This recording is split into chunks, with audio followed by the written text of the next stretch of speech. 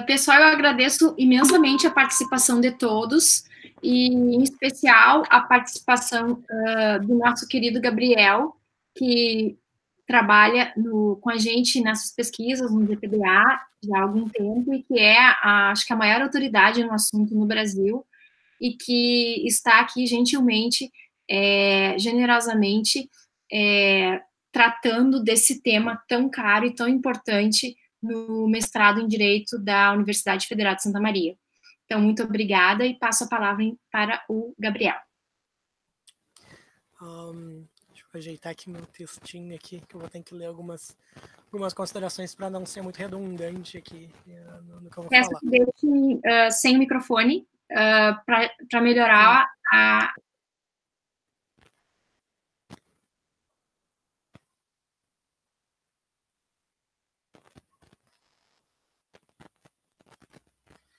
É, caso, caso dê algum lag aqui comigo, vocês me avisem que daí eu, eu dou um jeito aqui, nem, nem que seja cortando a câmera daí, mas ó, tá, tá dando para ouvir tranquilamente, tá, tá, tá normal e tal, porque eu tô testando o microfone aqui que eu não testo já faz um tempinho.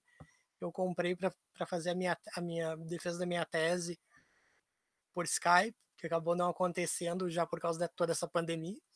Então, pelo menos está aqui sendo utilizado para alguma finalidade boa, a não ser meu próprio castigo pessoal. Um, então, um, eu vou começar então dizendo que boa tarde para todo mundo, quase início de noite aqui. Um, bastante gente online, bom saber que tem bastante gente interessada. Tudo cyberstalker, tudo vieram aqui ver, ver eu sofrer bullying aqui na mão da Nina, do Daniel. Uh, eu agradeço então uh, todo mundo que, que, que tá chegando, quem está participando, quem, quem vai chegar daqui a pouco, me imagino.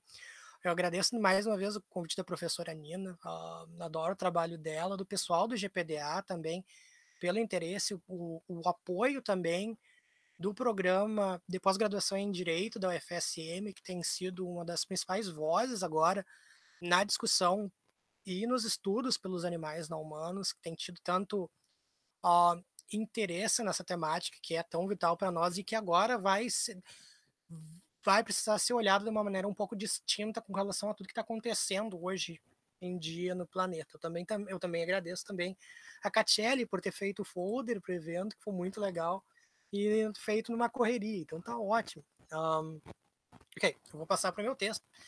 Caso, caso você já tenha visto, é um panorama da abordagem abolicionista de Gary Francione alcança limites agora talvez seja um título que tenha ficado meio um, desatualizado, dado o que eu vou, eu vou fazer agora de tarde. O que eu vou fazer, então, no decorrer dos próximos, dos próximos minutos, ele é elencar e rapidamente comentar dois dos quatro aspectos ou elementos centrais da proposta que o Francione desenvolveu no decorrer dessas várias décadas, tratando da questão dos animais não humanos. Então, os quatro elementos chaves da proposta da lição.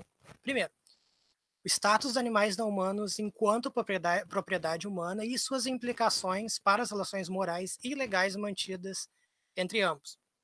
Segundo, é a construção de uma teoria de cunho moral fundamentada exclusivamente na posse da capacidade para ciência e não em outras características ou habilidades cognitivo-psicológicas específicas.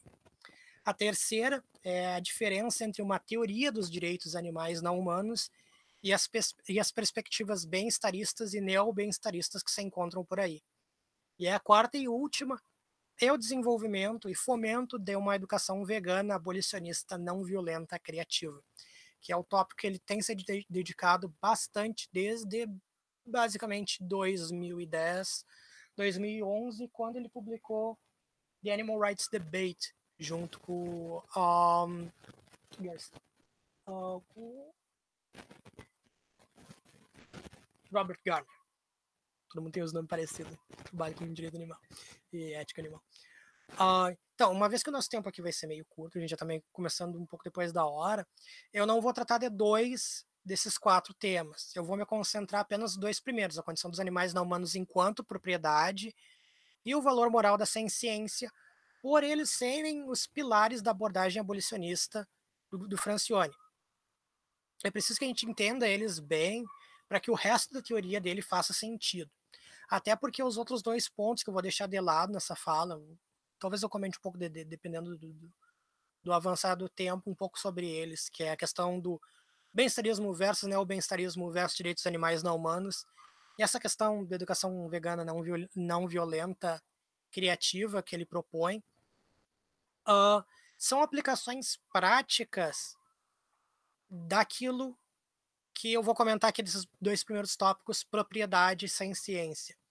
Então, eu vou deixar eles para depois e vamos ver se der tempo para a gente comentar, comentar um pouco sobre eles na sequência. Até porque, especialmente com relação ao último tema, eu já mencionei um pouco nisso dessa fala, uh, quando se uniu aqui, que eu tenho interesse pessoal em comentar esse último tópico, essa ideia de abordagem abolicionista não violenta do Francione, porque eu mesmo castigo ele na minha tese do doutorado exatamente nesse ponto. Eu acho que a proposta que ele está defendendo ali ela é inconsistente um, com a ideia de que animais não humanos possuem direitos. Mas eu toco nisso aqui no final da, da fala. Eu também saliento que todas essas, essas questões se entrecruzam e se mesclam dentro do trabalho do Francione, de modo a constituir uma proposta de caráter tanto filosófico quanto jurídico mais ou menos redonda. E eu menciono aqui esses dois ângulos, filosofia e direito, porque eu gostaria de deixar já bastante claro desde o começo da minha fala que ela vai conter algumas críticas mais conhecidas e, e possivelmente algumas não tão conhecidas contra essa proposta formulada pelo Francione. E uma das críticas mais comuns de ser ouvida por aí contra ele é de que o Francione é um jurista e não um filósofo. E isso é trazido à tona precisamente com o intuito de desqualificar filosoficamente a pesquisa e as ideias do Francione. Em pleno 2020, ainda se encontram autores e autoras dizendo que o Francione é um jurista e por isso a abordagem que ele defende já seria, desde o princípio, filosoficamente pobre. Uh, eu tenho dois, duas coisas para dizer sobre isso.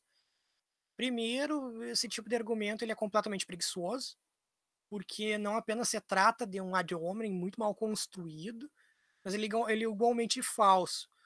Francione ele é um filósofo por formação, ele tem, se não me engano, a graduação em filosofia e mestrado em filosofia pela Universidade de Rochester, nos Estados Unidos. E mais adiante na carreira dele, ele fez um o trabalho de, de, do juris doctor dele no campo do direito. Então ele é um filósofo por formação. E mesmo que ele não fosse um filósofo por formação, qual é o ponto aqui? Se para desenvolver uh, uma pesquisa de caráter filosófico é necessário que alguém tenha um diploma em filosofia, então isso limita muito o tipo de, de, de, questionamento que a gente vai levantar. Porque se esse fosse o caso, onde é que o Platão conseguiu o diploma de filosofia dele? Ninguém vai mais ler a República porque ele não tem diploma ou ou qualificação do tipo. Isso, no meu ver, é completamente insano e preocupante. Então, para aqueles que forem questionar, criticar, objetar o Francione, ou qualquer outro autor, critique o trabalho desse indivíduo e não ele enquanto pessoa, a menos que, que realmente a crítica dele enquanto pessoa seja fundamentalmente relevante para algo que ele está tá fazendo, que no meu ver uh, essa crítica dele ser jurista não, não, não, não merece, não, não é relevante. Eu também gostaria de deixar bastante claro que essa minha fala ela é parcialmente baseada em uma resenha crítica que eu publiquei sobre a tradução em português da Introdução aos Direitos Animais, Seu Filho o Cachorro, na revista Diversas da Universidade de São Paulo. Essa, essa resenha em 2016. Ah, na verdade, eu publiquei duas resenhas sobre esse livro durante a minha carreira uma em 2016 e uma em 2012 na revista de, uh, Filosofia do Direito e Intersubjetividade da Univale. Essa da Univale é um pouco mais longa e ela é uma apresentação da edição original de Introduction. Então, caso alguém tenha interesse em dar uma olhada com mais calma na, nas objeções que eu vou levantar aqui, dá uma procurada nessa minha resenha de 2016, se não encontrar eu posso mandar por e-mail, até porque tem tem uma série de críticas lá que eu não vou tratar aqui porque o, o conteúdo da introduction difere um pouco da, da, da, da teoria sistemática do Francione como um todo. Tá, esclarecido isso, então eu passo para minha análise do Francione. Bom, nas obras do Francione, tá passando um caminhão da Rave, que ótimo, maravilha. Um, em suas obras, o Francione comumente descreve duas intuições morais que moldam, no seu entender, a forma como os, humano, os humanos percebem e tratam os membros de outras espécies. Então, as duas intuições são: primeiro, existe uma obrigação moral direta de não causar sofrimento desnecessário a não humanos, e segundo, em situações de necessidade é possível dar preferência aos interesses, eh, aos interesses humanos em detrimento aos interesses dos, uh, de animais não humanos. Segundo Francione, essas duas intuições estão histórica e culturalmente conectadas com aquilo que ele chama de princípio do tratamento humanitário. O princípio ou perspectiva em questão determina que, pelo fato de os animais não humanos uh, poderem sofrer, nós temos uma obrigação moral direta de não causar sofrimento desnecessário a eles. De acordo com Francione, esse princípio estaria tradicionalmente associado ao trabalho de pensadores utilitaristas, começando pelos escritos do Jeremy Bentham. Todo mundo aqui, imagino, conhece a nota de rodapé em uma introdução aos princípios da moral e da legislação em que o Bentham diz, não importa se os animais são capazes ou não de pensar, o que importa é que são capazes de sofrer. O que nem todo mundo conhece, de acordo com Francione, é o parágrafo anterior a essa passagem, que diz o seguinte, eu vou citar aqui. Ele, os animais não humanos, não possuem nenhum dos tipos de ante antecipação prolongada do sofrimento futuro que temos. A morte que sofre em nossas mãos é e sempre poderá ser uma, uma mais rápida, e isso significa uma menos dolorosa do que aquela que aguardaria por eles no curso inevitável da natureza. Se os seres mortos fossem todos assim, haveria uma boa razão para sofrermos quando os matamos, assim como quando são molestados. Nós seríamos o pior para suas vidas. Ou seja, os não humanos teriam apenas um interesse em não sofrer e não um interesse em continuar vivendo. Por essa razão, nós temos então que nos preocupar apenas com o sofrimento que causamos a ele e o, se, se esse sofrimento é necessário ou não. Se eles morrem, isso não é relevante. O importante é que eles sejam bem tratados e que não sofram. Essa é a base, essa seria então a base da nossa primeira intuição moral acerca dos não humanos. A segunda intuição moral, a qual declara, é, declara que em situações de emergência envolvendo escolhas entre humanos e não humanos, nós poderíamos favorecer os membros da nossa espécie. Uh, essa, essa ideia tem um, essa intuição tem uma, uma, uma origem um pouco distinta. Para o Francione, essa intuição nasce da presente condição dos não humanos enquanto propriedade. Eu vou comentar então sobre essa questão da propriedade daqui um minutinho, então vou deixar essa intuição para depois. O importante é aqui a gente se perguntar por que, em nome de Deus, nós deveríamos prestar atenção nessas intuições. Por que, que a gente não deveria se questionar? Isso é um problema para o Francione. Porque essas intuições podem muito bem ser o resultado de um pensamento especista, o que parece ser o caso. A ideia de sofrimento desnecessário ou sofrimento necessário pode ser, por exemplo, um mero construto social. O que é considerado sofrimento aceitável ou necessário em uma cultura pode não ser na outra. E o Francione jamais menciona isso no, nos estudos dele, que, ao meu ver, é questionável. O Francione surge com essas duas intuições, dizendo que elas fazem parte do nosso pensamento global acerca dos não humanos, mas não se pergunta se nós deveríamos duvidar delas. De fato, toda a tese da, da esquizofrenia moral que ele propõe está relacionada a essas intuições. O Francione é dentro do que eles chamam de, de um, campo do que eles chamam de metaética, ele é um intuicionista moral. Intuicionistas moral acreditam que as nossas intuições deveriam guiar sempre os nossos nas nossas considerações morais. Só que tem um problema. O intuicionismo moral ele é muito questionável pelo simples fato de que a maioria das nossas intuições são resultado de um, ideias culturais que são passadas de, de geração para geração. Uma pessoa racista, por exemplo, tem, pode ter uma intuição de que pessoas de outras raças não tenham tanto valor quanto as outras pessoas, porque isso foi passado para ela. Isso não diz nada sobre a relevância moral dessa intuição, então é difícil aceitar o intuicionismo que o Francione defende. Agora, a própria ideia de, de esquizofrenia moral. O Francione ressalta que os humanos, em sua maioria, demonstram uma confusão moral no que concerne aos não-humanos. Por um lado, humanos geralmente afirmam levar a sério a obrigação de não causar sofrimento desnecessário uh, que é causado a animais não humanos aos bilhões. Por outro lado, um montante incomensurável de sofrimento é infligido a bilhões de animais não humanos. Ou seja, por um lado a gente tem a ideia de que a gente não deveria causar sofrimentos necessários aos animais não humanos, por outro lado a gente causa sofrimentos necessários aos animais não humanos. Francione chama esse comportamento inconsistente de esquizofrenia moral. Porém, essa expressão esquizofrenia moral ela é duramente criticada por pesquisadores da área. Por exemplo, tem-se argumentado que ela é ableísta, mais precisamente ela estigmatiza os indivíduos que possuem esquizofrenia ou desordens mentais similares como sendo imorais.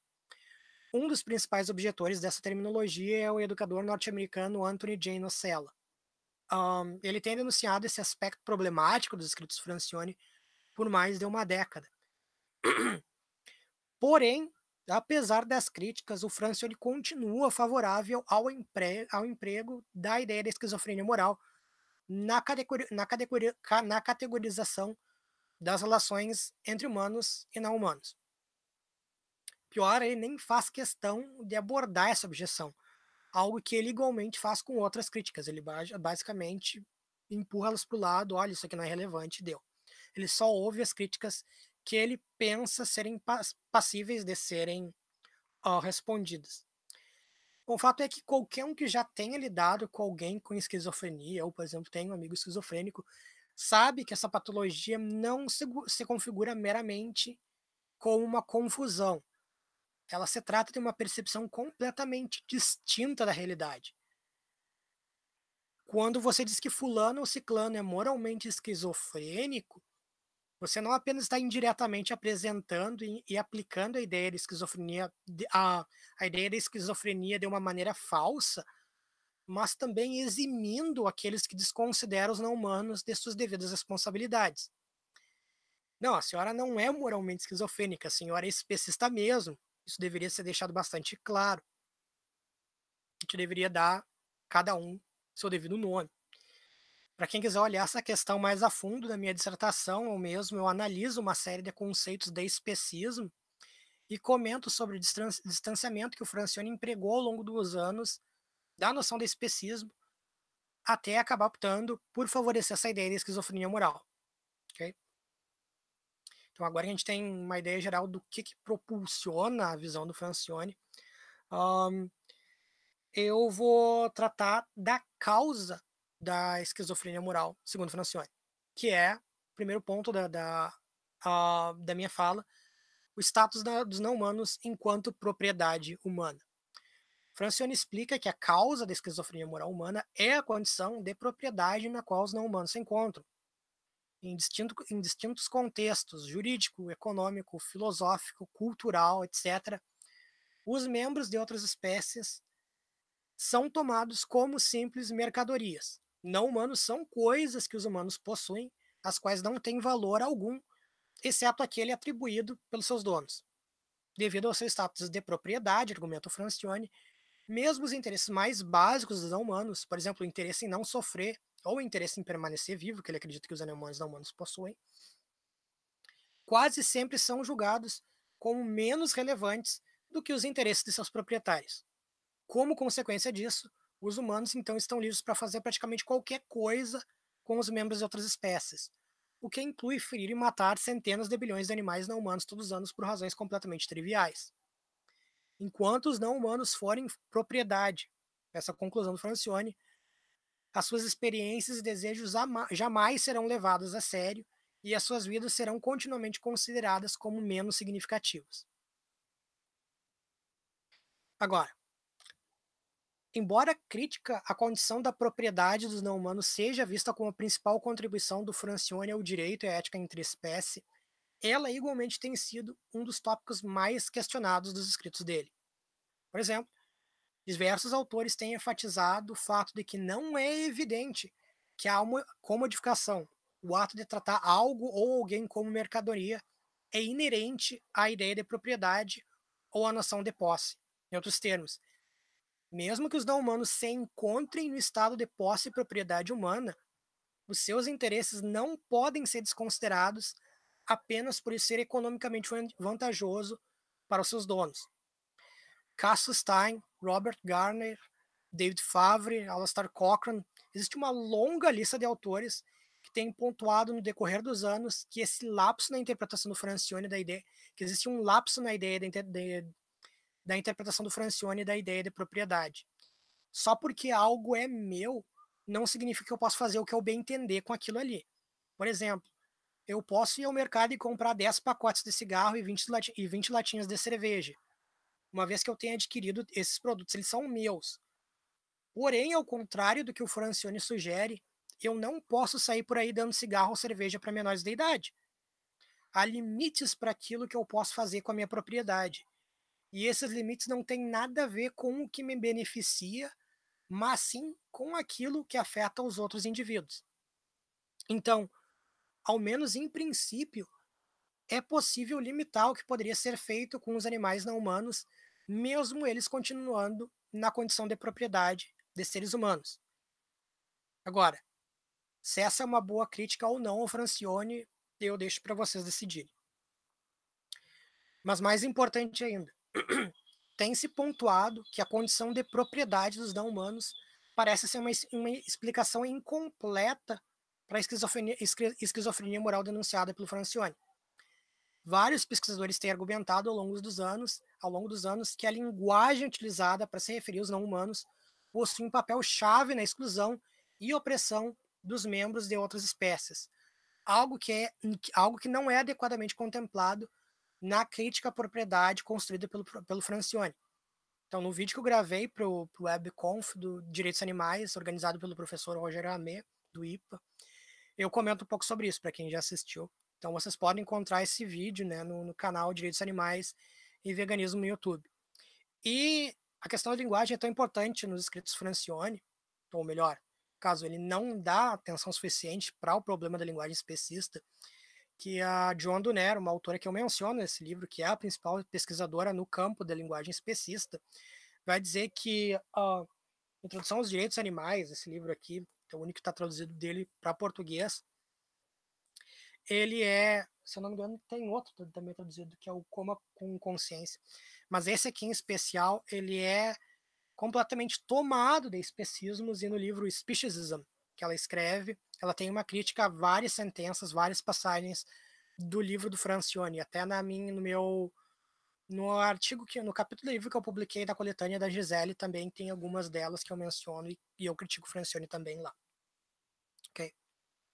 Uh, agora, uma teoria moral baseada exclusivamente na posse da ciência. Segundo ponto. Francione é um cienciocentrista. Se um ser não for senciente, se um ser não for capaz de experienciar sensações, ou não estiver fenomenalmente consciente do mundo ao seu redor, é difícil de imaginar como tal criatura poderia ser incluída nessas no nas nossas considerações morais. Por outro lado, nós sabemos que uma constelação inteira de animais não humanos é senciente. Eles sentem prazer, dor, sofrimento, deleite, etc. Eles possuem interesses e um bem-estar próprio que requerem a nossa atenção moral. E isso, para o Francione, é mais do que o suficiente para que eles sejam considerados portadores de status moral completo. Eles seriam, então, pessoas morais. Qualquer outra característica listada além da ciência seria supérflua. Por isso, Francione entra em guerra contra aqueles outros autores que ele chama de defensores da teoria das mentes similares. Existem diversos pensadores dentro da literatura ética e legal acerca dos não-humanos que sustentam que quanto mais cognitivamente sofisticado for um não-humano, mais fácil para esse ser uh, será para esse ser receber um tratamento digno, ter a sua, a sua pessoalidade reconhecida e os seus interesses devidamente respeitados. Stephen Wise talvez seja o principal representante dessa corrente de pensamento. Só que para o Francione, esse tipo de abordagem não apenas seria especista, mas totalmente contraproducente, porque ela simplesmente reconstrói parâmetros hierárquicos que colocam o ser humano acima de todas as outras espécies. Na visão dele, isso não resolveria nada. Mas, por outro lado, se a gente levasse essa ciência não humana a sério, seria muito mais fácil, por exemplo, construir um caso pela personalidade não humana nas cortes e tribunais do que se a gente se focasse em sofisticação cognitiva, como esses outros autores estão dizendo. Que esses outros autores dizem basicamente que quanto mais mentalmente similares forem os animais não humanos da gente, mais chance eles, eles têm de serem incluídos nas nossas considerações legais e a gente uh, finalmente colocar eles nos nossos, no, no, numa condição de pessoas, de seres com direitos respe respeitados. Okay? Só que tem um problema no que o Francione está dizendo. Não é o, o, o fato é que não é que para esses autores o mundo gira em torno de sofisticação cognitiva o fato é que essa sofisticação cognitiva possui um papel fundamental no equilíbrio dos interesses de seres distintos. O Francione exige que nós passemos os interesses dos animais não humanos pelo crivo da igual consideração de interesses semelhantes, que é o princípio da ideia de que a gente, quando a gente for fazer uma análise de interesses de seres distintos, a gente tem que tomar esses, esses interesses como sendo moralmente relevantes, igualmente moralmente relevantes. Só que, uh, e para o Francione, esse princípio ele nos libertaria da nossa suposta esquizofrenia moral. Porém, o que o Francione parece não entender é que o princípio da igual consideração de interesses semelhantes não determina que os interesses por ele sopesado tenham que ter valor ou força igual, mas sim que eles sejam igualmente considerados. Não é que se a gente for colocar o interesse de um animal não humano e o interesse do, do ser humano no, na balança do, do, do, princípio da igual consideração de interesses semelhantes vai dar igual. Não, não é isso. O, que esses autores estão pontuando é que essa sofisticação cognitiva, ela que o Francione está tentando barrar de todos os modos possíveis, ela pode muito bem alterar os pesos dessa balança dos interesses. Tome, por exemplo, o interesse em continuar vivendo, que o Francione diz que os utilitaristas rejeitam. Ou, ou, no caso, os utilitaristas negam que os animais não humanos, não tão cognitivamente complexos, tenham esse interesse. Uh, na interpretação do, do, Francione, um dos aspectos centrais das, das propostas do, Bentham e do Peter Singer é a, de, é a ideia de que, embora os não humanos tenham interesse em não sofrer, eles não possuem interesse em permanecer vivos não humanos têm um interesse em uh, não a, a, a, razão disso, então, de que eles não têm interesse em não continuar vivendo, é que diferentemente de nós, os seres humanos, eles não são autoconscientes. Isso implicaria então que tão logo os não humanos têm uma vida agradável, morrer não causa mal algum a eles, okay? como a gente já tinha dito antes. O Francione contesta essa conclusão e adota a perspectiva de que todo ser senciente isso é capaz de experienciar sentimentos, sensações, é autoconsciente e possui interesse em permanecer vivo, que é outra para o pessoal que trabalha com filosofia da mente, isso é bastante questionável. Consci... Autoconsciência e senciência não são a mesma coisa, e nem senciência e consciência. Uma coisa, uma, um, algo que você vê muito aí, para fazer um parêntese, é o pessoal usando a, a, a Declaração de Cambridge como um sinônimo de, de, de testificação de que animais não humanos são sencientes. Não é isso. O fato é que eles são conscientes, eles, eles têm outro, é outro tipo de coisa que está funcionando ali, não é o fato de que eles têm sensações. É importante a gente ter isso em mente, porque a declaração de, de, de Cambridge ela não é tão relevante como muita gente pensa. O que a gente precisa na verdade, se eu não me engano, o Daniel tava, teve envolvido na declaração, se eu não me engano, foi a declaração de Curitiba, que é a declaração que os animais não humanos são sencientes e que isso é moralmente relevante. É esse tipo de declaração que é importante aqui. A consciência não é tão, tão central para a causa dos animais não humanos. Um... Então, poderia se argumentar contra o Francione de que uh, mesmo que não humanos sencientes demonstrem um interesse em permanecer vivos, tal interesse é mais fraco do que o interesse equivalente de humanos cognitivamente funcionais. Diferentemente de humanos, não humanos não possuem uma forte conexão psicológica com si mesmos em tempos distintos. Por se identificarem e investir mais em seu futuro, humanos seriam prejudicados com a sua morte, mais com a sua morte, do que não humanos. Consequentemente, no que tange a moralidade, o ato de matar um não humano, isto é, violaria o seu interesse em permanecer vivo e seria um ato mais grave do que o de não, de não matar um, de, do que o de matar um não humano. Deixa eu fazer um esclarecimento aqui. Para alguns autores contemporâneos, especialmente a partir do Derek Parfit, do filósofo, uh, ele, ele possui um livro Reasons and Persons, que é, para quem não leu, ele é o livro que talvez seja considerado o livro que fundou a ética aplicada. Uh, todo mundo que trabalha com ética voltada e prática deveria ler esse livro, porque ele é o livro que molda a visão de como são feitos experimentos mentais, esse tipo de coisa. Mas mais importante, ele é um livro no que no qual o é dispensado uma enorme atenção para a relevância dessa sofisticação cognitiva, especialmente a relevância do uh, da nossa continuidade psicológica, ou seja, para autores como Derek Parfit e mais um, recentemente o Jeff McMahon. O Jeff, o Jeff McMahon tem um livro, não estou com ele aqui em cima, é o A Ética no Ato de, a Ética no Ato de Matar, Problemas às Margens da Vida. Esse é o livro mais importante que a gente tem em ética animal hoje em dia. Mais importante do que, em português no, no, no caso, mais importante do que Introdução dos Direitos dos Animais Não Humanos, mais importante do que libertação animal, mais importante do que jaulas vazias.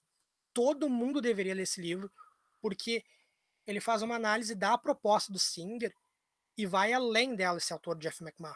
E ele é um autor muito claro. E o Jeff McMahon ele vai fazer o, o seguinte argumento: olha, os interesses dos animais não humanos em geral são mais fracos do que os interesses dos seres humanos, porque a conexão temporal que eles têm consigo mesmo em tempos distintos é mais fraca que a nossa. Tome o seguinte exemplo. Digamos que uh, eu estou escrevendo um livro. Eu me proponho escrever um livro. Ok? Eu penso nesse projeto, eu começo a elaborar aquilo que eu, que eu vou escrever, eu estou rascunhando as minhas coisas e eu já consigo me ver no futuro, daqui, sei lá, seis meses, um ano, publicando esse livro os meus pares analisando aquilo que eu vou escrever. Então existe já uma satisfação que está relacionada à minha conexão do meu eu presente com o meu eu futuro, ok? Então isso fortifica o interesse, ou seja, um interesse temporalizado, um interesse que intercruza várias fases da minha vida. E por eu estar tá psicologicamente conectado comigo mesmo no futuro, esse interesse é fortalecido. Só que supõe que daqui três meses vem alguém me dê uma facada e me mate, tá? O que, que essa pessoa está fazendo? Ela está violando esse meu interesse em escrever o meu livro, porque ela tá, ela basicamente cortou fora, ela uh, desvalorizou todo o todo o esforço que eu coloquei anteriormente na construção desse livro, ou seja, interesses são pensados como investimentos aqui. Eu invisto em certa coisa, algo é importante para mim, eu vou atrás daquilo ali. E nesse sentido, a pessoa desmereceu aquilo ali que era relevante para mim e desmereceu o meu interesse, a, a satisfação desse meu interesse futuro, da, da satisfação desse meu interesse no futuro, ok? Mas mais importante ainda, essa pessoa violou uma série de outros interesses, uma constelação de outros interesses que eu também mantenho. Por exemplo, o interesse em manter relações sociais, que é uma coisa que perpassa a minha vida inteira que também é comum dos animais não humanos. Então é importante te pensar nessas questões relacionadas aos não humanos, levando em conta essa sofisticação cognitiva, porque nem todos os animais não humanos conseguem se ver em tempos distintos da mesma forma que nós. E isso seria um problema para o Francione. E o Francione nem toca nisso. Ele tem uma, tem uma menção ao Singer tem algumas menções ao Singer em introdução aos direitos animais, só que o Francione nunca respondeu, por exemplo, ao Jeff McMahon. E o Jeff McMahon é, seria um Singer 2.0 aqui. Ele é o Peter Singer sem as lacunas. Basicamente, tem um autor que vai argumentar que é Peter Singer sem aqueles lapsos, ele é um, um Peter Singer melhorado, qualificado. E o, e o, e o Francione não toca nesses autores muito, que, que fazem essa análise muito mais severa, porque simplesmente ela fulminaria toda a tese dele. E aqueles que defendem o Francione deveriam levar a sério esses problemas uh, que a, sofisticação cognitiva traz para os animais não humanos. Também gostaria de dizer aqui, uh, antes de finalizar, que eu não falei nada sobre a abordagem abolicionista per se, tipo, a, a, a noção de abolição do Francione. Uh, Francione ele pode ser responsabilizado por toda essa distinção que tem sido feita entre abolicionismo, bem-estarismo e afins, e pela ressurreição desse termo abolicionista nos, no, nos dias hoje em dia. Só que, obviamente, o Francione não é o único abolicionista por aí. Para aqueles de vocês que já tenham lido, eu sugiro, eu acho que talvez esse seja o melhor livro do Francione, que é o Rain Without Thunder, uh, The Ideology of the Animal Rights Movement. Nesse livro, Francione vai fazer a primeira grande análise dele sobre as propostas um, bem-estaristas, neo-bem-estaristas e os direitos animais. E no início desse livro tem umas duas páginas que é dedicada à ideia de abolicionismo do Francione, que ele basicamente nunca mais retorna nos textos dele depois. E nesse livro, Francione vai dizer: olha, a proposta do Tom Reagan é abolicionista. O próprio Tom Reagan se considera um abolicionista. Só que a minha proposta, a proposta do Francione, ela é distinta do Reagan. O que o, o Reagan ele é um abolicionista sistemático. O que, que ele quer? Ele quer o fim das pra, da, da utilização instrumental sistematizada dos animais não humanos. Até se vocês lerem os textos do Reagan, quase todos os textos do Reagan têm, se eu não me engano, tem uma passagemzinha que ele defende que, eu não sei se eu vou encontrar ela aqui, o que nós queremos é o fim de, todos, de, de, de toda a utilização de animais não humanos em experimentos. O que nós queremos é o fim da utilização de animais não humanos na pecuária, o que nós queremos é o fim da utilização de animais não humanos, a completa abolição do seu uso, enquanto um, uh, na criação em pup mills e afins de animais não humanos. Ou seja, ele está preocupado com esse uso que é insidioso, que é sistemático, que é tratado os animais não humanos como, como sendo algo que uh, em jaulas vazias, o Reagan fala de uma teia de explorações, que a gente vai destruindo certos aspectos dessa teia e eventualmente ela acaba se desmaterializando por completo. O Francione não é um abolicionista nesse sentido, ele é um abolicionista total. Qualquer uso dos animais não humanos, seja sistemático ou não, ele é moralmente inaceitável.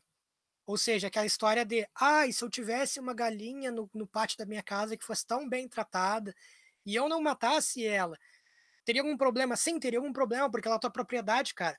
Então não tem como tu, tu pegar e, e, me dizer que, ah, eu não tô explorando ela, ela é tua, tu tá, por definição, tu já tá desconsiderando os interesses animais não humanos pelo simples fato de tu, de tu a considerar algo teu, ok? Então o Francione está preocupado com esse tipo de, de, de, de questão. E existe também um outro tipo de abolicionismo, que é o abolicionismo da John Donner, que eu acho esse mais Talvez o mais interessante, obviamente, o menos pesquisado. Eu não sei, eu não, acho que fora o Leon Denis e a professora Sônia, um, ninguém mais falou sobre a John Donner por aqui, e mesmo que eles falaram, é muito pontual. E a John Donner tem talvez um dos melhores livros sobre é, em ética interespécie por aí, assim, no mercado, desde de, o livro Speciesism foi publicado em 2000 e 2000, 2001, e ele continua sendo uma obra excelente, porque a John Donner é uma abolicionista total, só que, diferentemente do Francione, ela não defende que os animais não humanos tenham só um direito, que para o Francione é o direito de não ser tratado como propriedade. A John Donner defende que animais não humanos têm vários, vários direitos, e um direito que eles têm é o direito de terem propriedade. Porque se os animais não humanos não forem tratados com, como proprietários de algo, por exemplo, proprietários de terra, em qualquer disputa em que a gente tiver que escolher entre, ah, eu vou desmatar aquela floresta, os animais vão perder, por quê? Porque aquela terra não é deles. Vários autores agora recentemente uh, tem trazido essa questão à tona do, dos animais não humanos enquanto proprietários, enquanto criadores de acordo, porque os animais não humanos, uh, o, a, Sue, a Sue Donaldson, Donaldson e o Wilkin Lika, em Zoópolis, eles vão tratar um pouco dessa questão do contrato mantido entre os animais não humanos. E para alguns autores, tu pode manter contratos, por exemplo, animais não humanos mantêm contratos próprio urinar em um poste, aquele poste ali é do cachorro tal. Então é mantido uma relação ali. Então existe algo algo que a gente deveria respeitar naquele comportamento deles que diz alguma coisa sobre aquilo ali é meu, cara. Então presta atenção. E poderiam ser, ser construídos direitos a partir disso. Francione nega, Francione nem pensa nessa questão. Agora, talvez as duas principais, a principal obra dessa temática é Animal Property Rights, se eu não me engano, do uh, John Hadler, que é um autor que eu talvez seja o segundo um dos principais autores da minha tese, porque ele é um autor que trabalha, foi o autor que mais avançou a questão da legítima defesa em, em, em prol dos animais não humanos. Ele tem um dos melhores textos sobre essa temática. E uh, para quem tem interesse em pensar mais aprofundado, mais aprofundadamente esses interesses, esses direitos, que são historicamente marginalizados com relação aos animais não humanos, deveria ler esse tipo de, de, de pesquisa, porque elas são o que há de mais avançado hoje em dia em termos do, do em termos de ética entre espécie até em direito não humano. Okay? E para finalizar, eu comentei que eu ia fazer um, uma pequena menção à minha tese, minha tese de doutorado, uh, sobre a qual eu já falei, eu falei poucas vezes sobre ela, ela publicamente, porque por ela ser bem controversa, eu não, eu não quero falar bobagem e tal. Então, um, na minha tese, eu defendo que animais não humanos têm um direito à legítima defesa. Não é que a gente poderia estender um direito. Até o folder, a, o que eu, a forma como eu frisei a, o que eu, a pesquisa que eu estou fazendo no folder para o evento não é correta. Não é que a gente pode estender o direito à legítima defesa para os animais não humanos, mas sim que os animais não humanos têm o direito à legítima, legítima defesa porque o direito à legítima defesa ele é um direito de segunda ordem, ou seja, ele é um direito à proteção de direitos. E o direito a não ser tratado como propriedade que o Francione defende, sozinho ele não diz muita coisa. Porque do que adianta tu ter um direito a não ser tratado como propriedade, mas não poder, não, mas não poder proteger aquele direito da maneira que for necessária para que alguém não te torne propriedade. No momento que alguém desconsidera o teu interesse e tu não puder utilizar dos meios necessários e proporcionais para defender esse teu direito, então esse direito não vale nada. E isso tem sido, ao meu ver, um dos maiores, um dos maiores problemas na, na, na análise uh, jurídico-filosófica dos direitos dos animais não humanos, que a gente não, le, não leva a sério as consequências dos direitos em questão. Como assim que os animais não humanos têm direitos, mas a gente não pode proteger eles da, da maneira que um direito um, um, que um direito de um ser humano seria protegido? Para mim isso é um problema não só óbvio, mas uh, vital que a gente deveria estar abordando hoje em dia. Eh, eu espero que a minha tese, eventualmente, quando eu terminar esse doutorado maldito, seja, seja relevante para quem se interesse para esse tipo de, de, de, de, aplicação dos direitos na, dos não humanos que tem sido ignorada por esses autores. O Francione ele defende uma abordagem não violenta, mas ele não ele não dá argumentos a por que a gente deveria ser não violento. Francione, na verdade, até menciona que ele acredita que exista um direito à legítima defesa, mas ele nunca menciona se ele é aplicável a animais não humanos ou não. O que, para mim, uh, é ridículo, assim, ele deveria... Ele, ele não é consistente com algumas, algumas coisas que ele, que ele diz. Um, mas agora eu já estou começando a ruminar desnecessariamente. Essa basicamente foi a minha fala. Eu estou aberto para qualquer quaisquer perguntas. Eu estou aqui basicamente desempregado e livre para falar por quanto tempo vocês quiserem sobre esse tema, se alguma coisa não ficou claro, ou se existe alguma questão relacionada a esse assunto ou qualquer outro assunto um, acerca dos animais não humanos. Obrigado. Nós que agradecemos uh, a tua excelente fala, foi sempre esclarecedora, a gente sempre aprende muito. Eu acho que eu sou a admiradora número um do, do Gabriel, né? Eu, eu admiro, eu admiro talento nato que ele tem como pesquisador, uh, a inteligência acima, né, acima de acima de todas as pessoas que eu conheço, eu acho, é o Gabriel. Tão fã que eu sou do Gabriel.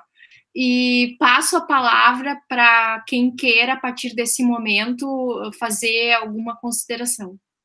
Eu acho que todos ouviram, para mim ficou perfeita a fala do Gabriel. Acho que todos conseguiram ouvir também. Vou desligar aqui meu microfone. É, caso alguma coisa não tenha ficado claro, uh, eu posso voltar naquele ponto e, e refazer, se for, se for o caso.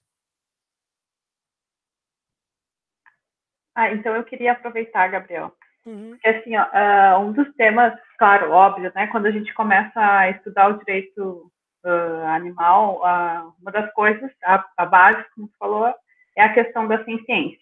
Uhum. E aí eu vejo, assim, que existe uma confusão, no, os autores escrevem e tem várias definições, isso que você falou da confusão de autoconsciência, da ciência, da declaração de Cambridge, e isso, às vezes, eu fico perguntando qual que seria a melhor definição, então, para ciência, para a gente conseguir uh, seguir a partir daquilo.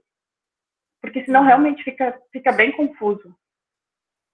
Tem a noção da ciência é... na, na literatura filosófica agora. Ô, Gabriel, antes de tu continuar a responder a dúvida da Lesca ali, hum. a minha dúvida também entra nisso.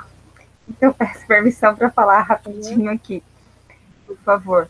É, eu também fiquei um pouco confusa é, a respeito dessa questão, e eu lembrei de uma conversa que eu tive com a professora Sônia, Sônia Felipe, uhum. e ela falou que ela é, que analisando alguns documentos a respeito do que o pessoal estava falando é, sobre a ciência, eu não sei se foi algum ponto que tu encontrou também, mas ela disse que o pessoal não estava é, traduzindo é, o, a palavra ciência é, corretamente. Alguns falavam de consciência, mas é, na hora da tradução vinha sem ciência, na questão de sentidos. Eu não sei se foi isso também que tu acabou é, encontrando. Eu não me recordo agora porque eu não estou com com a minha anotação aqui, está na minha outra casa, mas eu lembro de alguns documentos que ela falou, principalmente o pessoal quando estava traduzindo do inglês para o espanhol.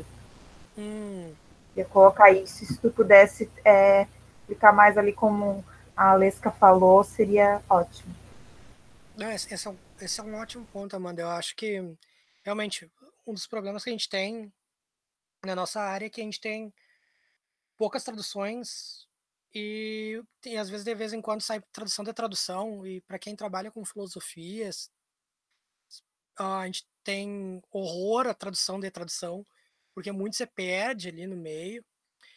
E um, e eu não duvido que isso seja uma realidade de que certos conceitos, conceitos chaves desses autores a ideia de traduzir sem ciência para consciência autoconsciência para alguma outra coisa pode ter gerado essas confusões.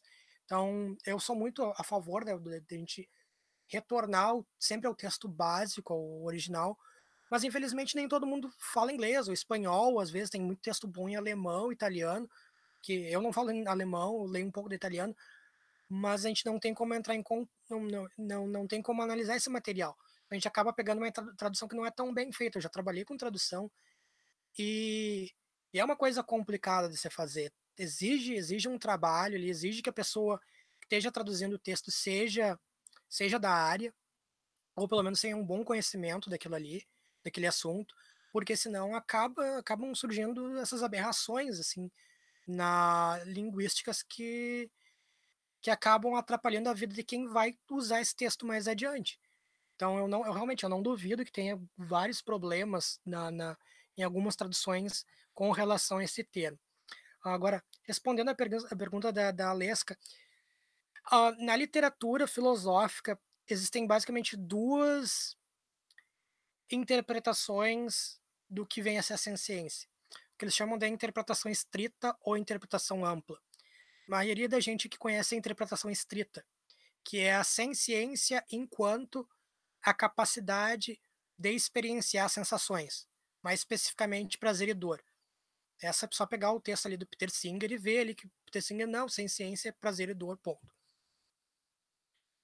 Vários autores têm problema com essa definição de sem ciência porque ela não não é não é só aquilo ali. Sem ciência é uma experiência muito mais complexa e, e, e quanto e quanto a, a, a, ao, ao, aos danos psicológicos envolvidos naquelas experiências ali não é o suficiente. Daí alguns autores eles adicionam sofrimento, deleite, prazer, por aí vai e tal. Mas também não é o suficiente. Tem alguma outra coisa a mais ali que está relacionada a ser senciente. Uh, tem um texto muito famoso do, do, Thomas Nagel, se não me engano, que é o que como é ser um o que é ser um o que é ser um, um como é ser um morcego. É um texto central na história da filosofia, muito conhecido, que o Nagel vai falar basicamente que, olha, eu não sei exatamente o que é ser um morcego, mas tem algo ali naquela criatura, uma espécie de consciência ali que é relacionável comigo. Existe algo que é como estar, existir ali, que talvez eu e ele, nós ambos experienciamos. E o mesmo vale para a ciência. Daí tem vários autores que eles vão defender que a ciência, além de ser essa experiência de prazer, sofrimento, dor, etc., ela é uma consciência fenomenal. Tu tem consciência dos fenômenos que te afetam. Ela vai muito além daquilo aí simplesmente corpóreo ou mental. Ela é muito mais ampla. Daí, vários autores contemporâneos, eles mesclam as duas coisas e dizem, olha, a gente tem uma ideia do que, que seja essa ciência. Não é muito fácil categorizar ela, é complicado. Um, até a própria noção, por exemplo, de consciência, um, o Colin McGinn, que é um autor que eu mencionei na, na minha fala para o IPA, ele defende a ideia de novo misterianismo para tratar da consciência, que a gente nunca vai entender exatamente o que, é a consciência, da onde sai aquilo ali, para que, que serve, tal. E talvez a mesma coisa possa se valer para a ciência. A gente talvez nunca vai entender exatamente o que, seja ciência mas existe algo em ser senciente que todos os seres que são sencientes partilham. Então, a maioria da, da, da, das análises mais das análises contemporâneas de ciência estão mesclando esses dois, esses dois elementos, ciência enquanto experiência de, de, de, de sensações e experiência de fenômenos. Não sei se eu respondi a tua pergunta. Tem, na verdade, tem tem o, se eu não me engano, é o nome The Journal of Sentience or Sentient Journal, que é um, um, é um periódico aberto, dedicado especificamente para a estudos relacionados à ciência de animais não humanos. Tudo que está sendo publicado atualmente sobre, ah, descobriram que crustáceos de tal tipo sentem dor. Ah, hoje tem um novo estudo provando que tal espécie de, de, de aranha é capaz de sentir prazer, e por aí vai tá lá nesse jornal. É um jornal com artigos bem curtinhos. Eu uso, eu uso eles direto no, no, no naquilo que eu escrevo. Acho que todo mundo deveria ter, ter uh, dar uma pesquisada nesse texto, nesse, nessa revista, porque ela talvez seja a nossa melhor ferramenta uh, em prol de uma análise etológica dos animais não humanos. Tem muito estudo lá sobre comportamento não humano que é colocado de uma maneira muito concisa, muito clara que vai ajudar todo mundo que trabalha com essa questão. Então, quem quem puder, procure. Se não ficou claro o título aqui, eu procuro ali e passo para vocês. Mas, se eu não me engano, é uh, Journal of Sentience uh, especificamente sobre essas questões voltadas ao, a como os animais não humanos se comportam e o que eles sentem.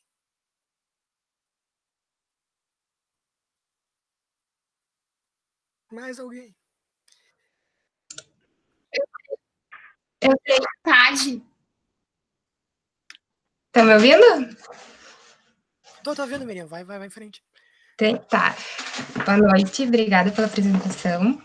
Uh, eu tenho uma pergunta assim, ó, eu, só para te contextualizar, que talvez possa parecer um pouco idiota, assim, porque uh, eu e a Andressa, a gente faz a, a cadeira aqui na, no mestrado, e embora eu tenha cursado a a, a, faculdade na universidade, na UFSM, eu não tinha feito essa cadeira. Direito animal, como era optativo, eu acabei não fazendo. E então, para nós, é quase como assim, algo novo, algumas coisas que estão sendo apresentadas, entende? Então, a gente leu na primeira vez a Libertação Animal, agora a gente está lendo Jaulas Vazias, e a gente leu uh, a tua dissertação sobre o Francione. E aí a minha pergunta é assim, por que que tu acabou escolhendo iniciar os teus estudos com ele? O que que mais diferenciou, embora uh, no, no, primeiro capítulo eu li que tu define, assim, alguns conceitos e diz que principalmente por causa da propriedade, né, quando ele que se difere dos outros. Mas eu queria saber assim, quando foi que tu decidiu que tu escolhe, ia escolher ele? Porque hum. algo que eu estou tentando entender entre eles é, são as diferenças uhum. e como cada um enfrenta. Hum, tá. E outra pergunta que eu tenho é sobre quando tu falou que a consciência não é tão importante. Eu não sei se eu não entendi muito bem quando tu falou, mas eu acho que foi algo assim que eu achei que é importante, mas eu não entendi muito bem uhum. por que ela não é. Obrigada. Ah, tá. Não, obrigada pelas perguntas, Mia. Um, tá. Uh, por que do Francione? Bom, basicamente, a minha história com, com ética entre espécies ela é muito bizarra, porque quando eu entrei na faculdade de filosofia, eu entrei porque era a coisa mais perto da psicologia que tinha. Eu queria fazer psicologia, não tinha psicologia, vou para uma coisa que seja, que soe de uma maneira parecida, que rime. Eu fui para filosofia. E na filosofia, na, na, minha primeira aula de lógica, o meu professor Frank, que está ali na UFSM, o professor falou que na época o PACE, o finado PACE, que era um dos métodos de entrar na UFSM, tinha caído uma pergunta sobre o Peter Singer. Eu faço ideia quem é esse homem. E o Peter Singer, o professor Frank comentou aqui, Peter Singer defende que é imoral consumir animais não humanos. Eu nunca pensei sobre isso. Daí eu estava me decidindo sobre o que, que eu ia trabalhar, uh, uh, porque eventualmente, né, né, se for ficar na filosofia, por exemplo, sempre tem que, tem que escolher o que o que fazer, assim, tipo, qual tema tu vai pesquisar. E é bom decidir mais ou menos desde o começo, para não ser um sofrimento nos últimos semestres, né? escrever monografia, afins. E um, aconteceu que eu revisitando uns textos, eu estava dando uma olhada, eu achei uma revista da, se eu não me engano, era da época ou da Isto É. E tinha uma uma, uma entrevista com o Peter Singer, isso mais ou menos uns 4, 5 meses depois do professor Frank ter, ter levantado essa questão. E era uma, uma entrevista do Peter Singer dizendo que é imoral consumir animais não humanos por causa disso, disso e disso. E para mim soou tão claro, assim, tão incontestável, que naquele momento, tipo, ok, não posso seguir consumindo produtos animais não humanos, ou melhor, não podia conseguir consumindo carne, que era o ponto do, Francio, do, do, do Peter Singer. Daí, naquela época, eu parei de consumir carne. E isso foi em 2007. Por mais ou menos um ano eu fui ovo-lacto vegetariano e tal. Mas uh, as, as, por um ano as perguntas que tipo que eu recebia meio que foram se empilhando assim. Tá, mas por que só carne? Por que não leite? Por que não ovos e tal? E e eu achava que não, carne é o maior problema. E daí, eventualmente, eu encontrei uma passagem mencionando o Francione, assim, e daí tem um autor, que é o Garo Francione, que ele vai defender que o consumo de produtos de origem animal, todos os produtos de origem animal, é inaceitável.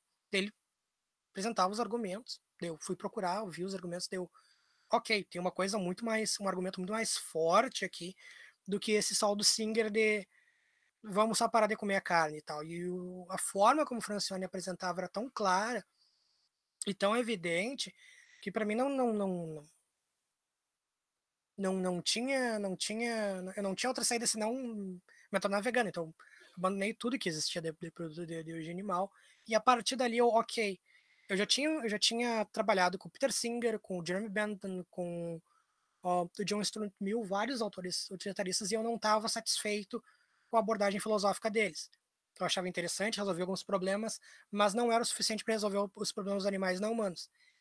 E a partir dali eu me movimentei para o lado dos direitos. Comecei a tratar do Francione.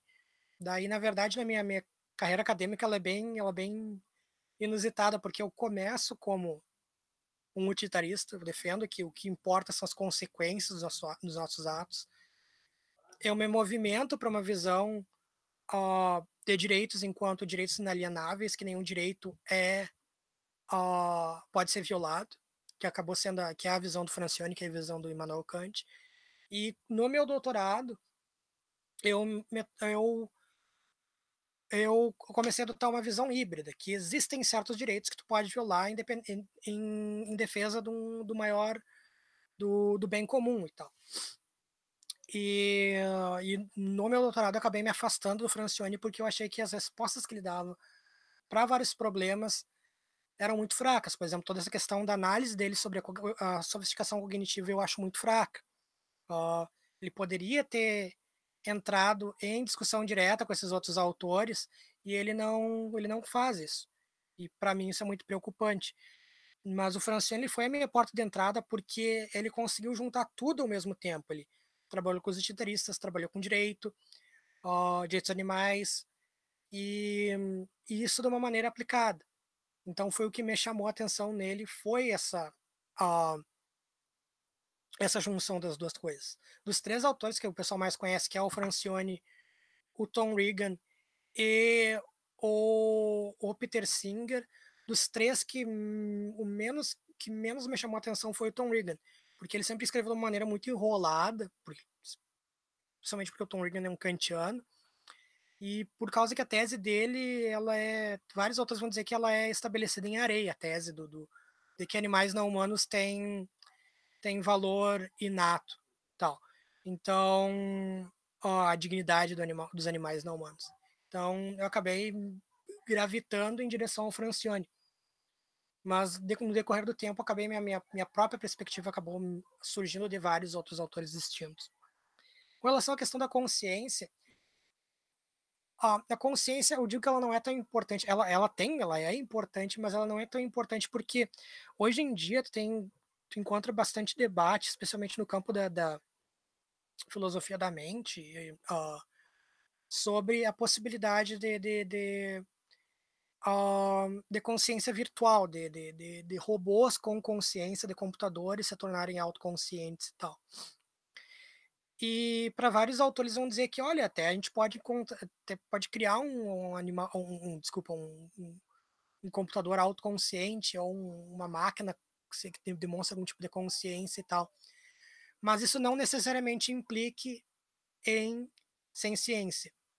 Ok? Daí tu pode ter um computador que seja capaz de pensar sobre a realidade dele, colocar certas dúvidas sobre o mundo, mas isso não significa que ele vai experienciar o mundo da mesma forma que nós experienciamos. Daí, nesse nesse reino, a consciência ela fica em segundo plano. Ainda assim, ela é importante, obviamente, porque se um ser não for consciente, dificilmente ele vai. Se um ser não for consciente, ele também não vai ser senciente, tal. Porque uma uma coisa pressupõe a outra nesse caso.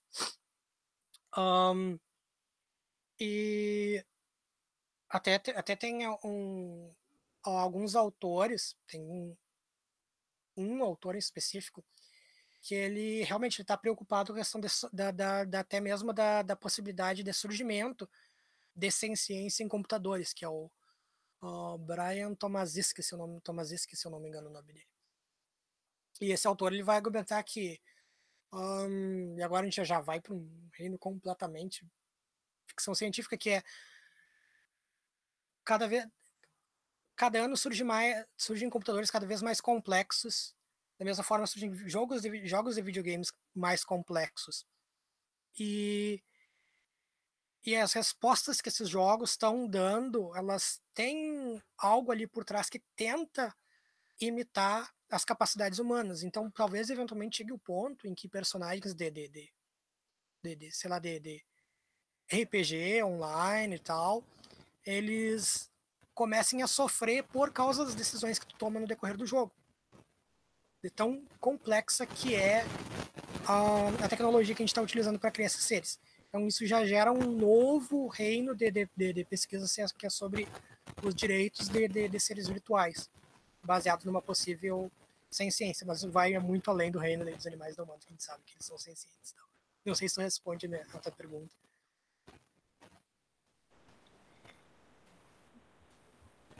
Mais alguém?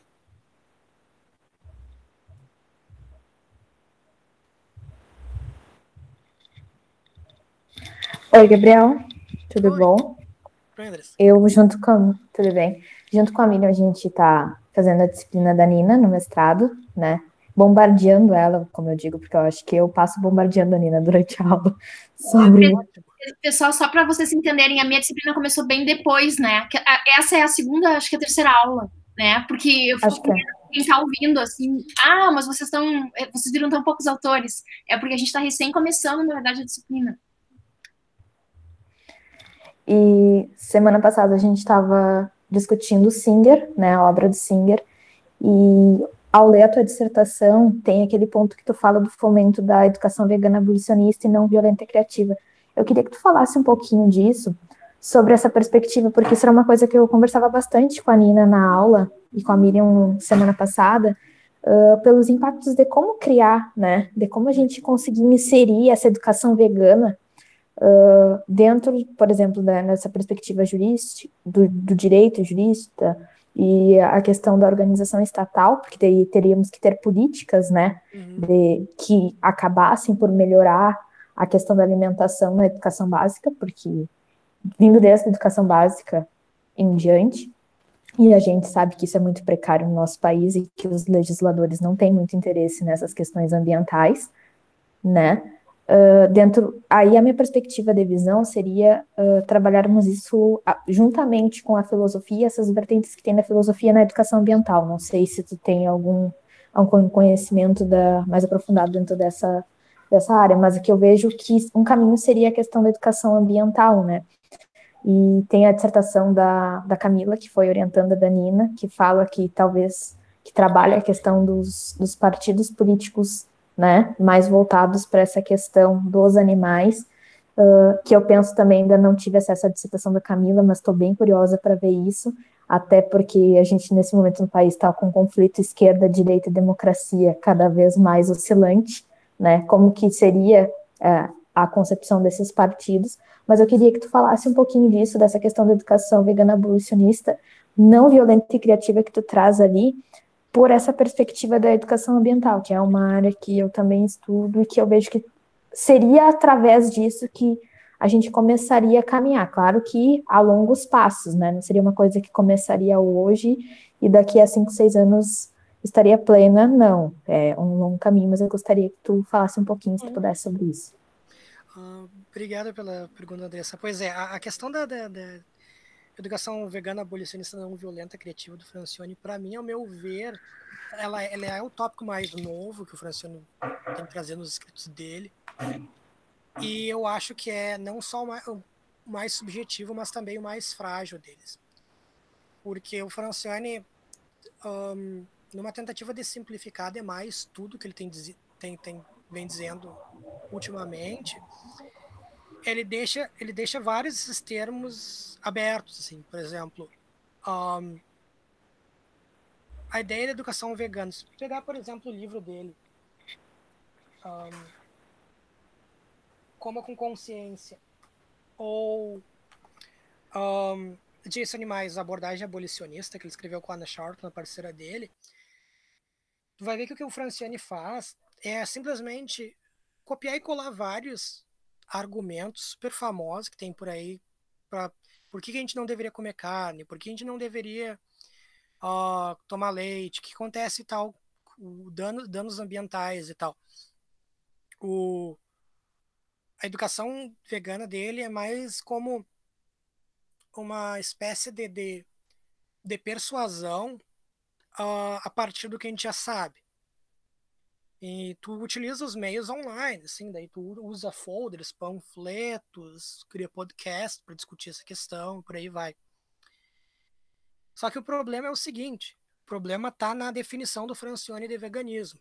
E isso tem, ah, tem sido algo que foi, foi a primeira grande rixa que eu tive direto com o Francione, que foi que as nossas concepções de veganismo não batem. Francione defende, não sei se vocês já viram aquela, aquela foto de, de um, de vez em quando aparece por aí de, de, de, de um gorila uh, dizendo que ah, eu não como carne, me pergunta, me pergunta da onde, de onde eu tiro a minha proteína, eu sou vegano e tal. Daí o Francione postou essa foto e eu disse, bah, professor, eu não sei se, se é o caso desse animal não humano ser vegano, porque uh, veganismo me parece algo que vai muito além de uma mera um, uma mera adesão a não consumir produtos de animais não humanos, de, de, de, de, de não comer carne afins.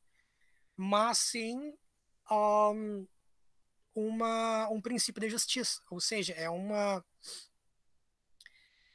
é uma aplicação prática da, da, da, da ideia de que animais não humanos têm valor moral e tu vive de acordo com esse valor moral. Um, só que como vai ser o caso de, de, de, como que animais não humanos vão ter esse tipo de percepção se eles não entendem o que exatamente significa exploração animal não humana como um todo? Então, então é difícil pensar que o gorila vai ser vegano, porque se o gorila for vegano nesses termos de, de se veganismo for simplesmente não consumir produtos de origem animal, isso gera um problema gravíssimo para todo mundo que é vegano. Por quê? Porque todo mundo quando for dormir, você torna automaticamente vegano. Por quê? Porque tu não está consumindo produto de origem animal. E isso me parece uma visão bem fraca do que, é ser vegano. Do que é ser vegano. Vegano é alguém que aceita que, que a exploração dos animais não humanos é algo inaceitável e vive de acordo com aquilo ali, que eu não vou consumir produtos de origem animal e tal, do decorrer dessa minha existência. Não é uma coisa puramente temporal, assim, de ah, eu não consumo isso aqui, isso aqui, isso aqui. E o Francione está aderido a essa visão de vegetarianismo como algo bem. uma dieta. E, e se for só uma dieta, então a gente tem que levar a sério essa ideia de que, ah, eu sou vegano. Por eu sou vegano porque o, o meu personal trainer disse que é melhor para mim. Então, não, não é, não é esse o caso. Vegano vai ser vegano vai muito além disso pode ser vegetariano, as pessoas têm razões distintas para ser, serem vegetarianas, mas ser vegano é envolve algo muito distinto. E isso eu já comprei bastante briga porque por causa que essa interpretação de veganismo implica uma compreensão de, de, de, diversos fenômenos envolvendo os animais não humanos. A ideia, por exemplo, de que crianças seriam veganas, para mim, não faz sentido. Porque se uma criança pudesse ser vegana, numa concepção de que ah, a da, criança entender que a exploração não humana é errada, então por que não aceitar que uma criança também poderia ser uma taylorista, uma fordista e afins? Uh, eu até recebi esses dias ali um, um livro Bebês Veganos, eu fiquei horrorizado com as coisas que eu li naquele livro. Porque é uma, uma marginalização sem fim do que, que vem a ser o veganismo. É algo muito mais sério. E sempre quando alguém enfraquece esses termos, eu sou muito, eu sou muito a favor de no momento em que um termo não, não mais aparenta ter utilidade ou ficou tão defasado que não é mais aquilo ali, a ideia original a gente precisa mudar. Vamos, vamos procurar o termo. Eu acho que o mesmo está acontecendo com o termo vegano. Que agora tem muito debate, ah, eu sou vegano ético, eu sou vegano por razões de, de, de saúde e tal. Não, não é isso. É, o veganismo é algo ético por definição. Então a gente deveria ser, ser, ser uh, ir por essa direção. E o Francione não vai por isso, ele, ele utiliza qualquer argumento que tiver disponível para dizer seja vegetariano, seja vegano. Uh, então, para construir uma educação vegana abolicionista não, não violenta, ele, ele utiliza o que, que ele tem em mãos, mas o que ele tem em mãos não são necessariamente os melhores argumentos. Eu, pessoalmente, eu tenho uma proposta diferente, que eu até, ó, eu tô montando um segundo vídeo para enviar pro, pro Rogério, no qual eu vou falar sobre um projeto que eu nunca consegui lançar, que é o chamado Mosaico Vegano. O Mosaico Vegano, ele é uma ideia que eu desenvolvi em 2009, com acabou nunca, nunca sendo lançada, que é a ideia de, de criar um site em que pessoas de... A ideia era ser um site global, mas dificilmente vai acontecer. Então, vai ser um, provavelmente um site regional, um site nacional, em que pessoas distintas possam apresentar as razões pelas quais elas se tornaram veganas ou pelas quais elas se preocupam com os animais não humanos. E a partir daí, tu pode fazer uma análise regional e cultural de por que, que as pessoas se tornaram veganas. Daquela região ali, ah, tantas pessoas em Vale Vêneto se tornaram veganas por causa disso e disso e disso. Então a gente pode entender melhor quais argumentos funcionam lá. Porque uma coisa que me, me choca ainda é que tem muita gente que usa argumento lá de fora que, uh, que é importado lá de fora para cá, que claramente não vai funcionar. Por exemplo, o argumento da abolição da escravidão. Esse argumento nunca. Eu, só funcionou uma vez para mim utilizar esse argumento de que fazer essa, essa espécie de comparação entre as duas coisas, de que ah, existe uma relação direta entre diferentes tipos de exploração. E esse argumento só funcionou quando eu falei com uma, uma, uma menina, uma, uma colega minha do doutorado, que ela é americana. E nos Estados Unidos, a abolição é considerada a maior mancha histórica de, daquele país. E no momento que alguém diz, olha, o que está fazendo com os animais não humanos é similar àquilo que os, os, os uh, escravizadores faziam com os escravizados, ou tem uma relação direta, uh, tu está sendo igualmente tão igualmente imoral quanto eles. E para aquilo lá foi chocante para ela, porque eles não querem ser considerados escravizadores, para eles é errado a escravidão, ponto. E ela acabou se tornando vegetariana com aquilo ali. Esse tipo de argumento nunca funcionou aqui, porque a abolição da escravidão não foi brasileira não foi abolida por razões um, morais, como aconteceu lá em cima, que teve toda uma guerra, uma guerra civil de, olha, os negros são seres humanos no, nos olhos de Deus, escravizar eles é algo completamente moral. Não. Aqui ela foi abolida através do Tratado de Aberdeen. Nós, nós fomos o último país na, na, na América Latina a abolir a escravidão porque o pessoal lá de fora disse: olha, se vocês seguirem com a escravidão, aí vocês vão perder dinheiro. Então parem com isso.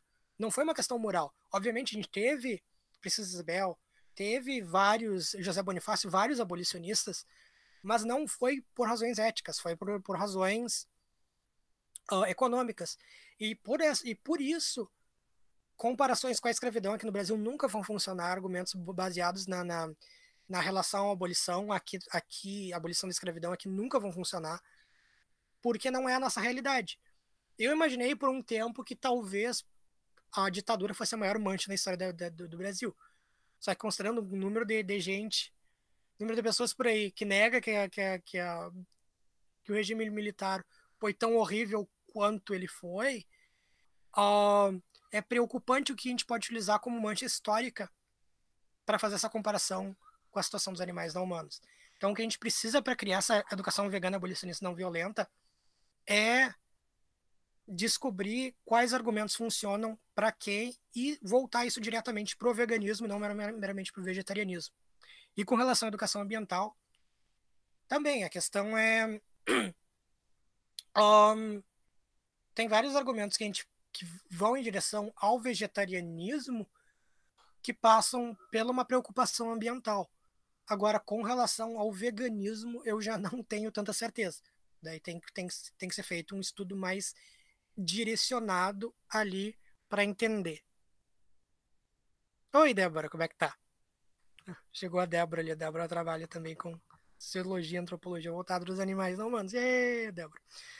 Um, vocês me dão só um segundinho para me fechar a janela aqui do meu quarto, que tá entrando mosquito aqui e eu não quero fazer nada que seja imoral com eles. Já retorno.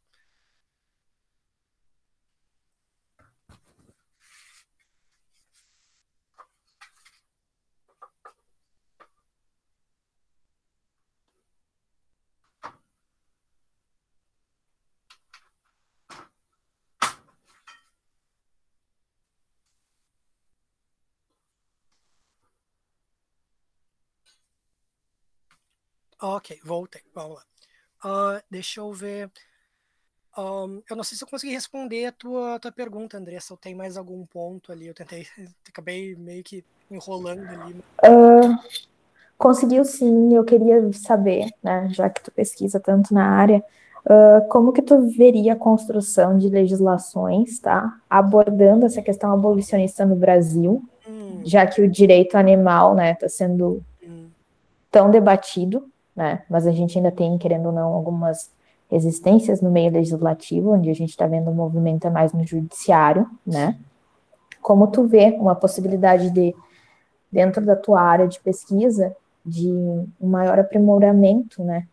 Em, em é. questões de, de construção, né? Com todo o pessoal, por exemplo, tu e demais pesquisadores na, na, se tu já chegou, por exemplo, a ser chamado para conversar com alguém do âmbito político ou não, né, da, sobre a importância dessa questão, porque ah, tu fala muito da ciência, é uma coisa que semana passada eu estava perguntando para a Nina, a gente sabe que vai ter que ser analisado bem a questão do comportamento animal, né, e isso vai gerar uh, de, o debruçar de muitas áreas, né, de, de pessoas de, das mais diversas áreas, para a gente construir uh, dentro da questão do direito animal ainda, que eu vejo que tem muita resistência, até porque dentro do direito ambiental tem pessoas que acreditam que o direito dos animais estaria dentro do direito ambiental. Eu pesquiso direito ambiental e eu digo para Nina, eu já vejo que o direito dos animais está para além.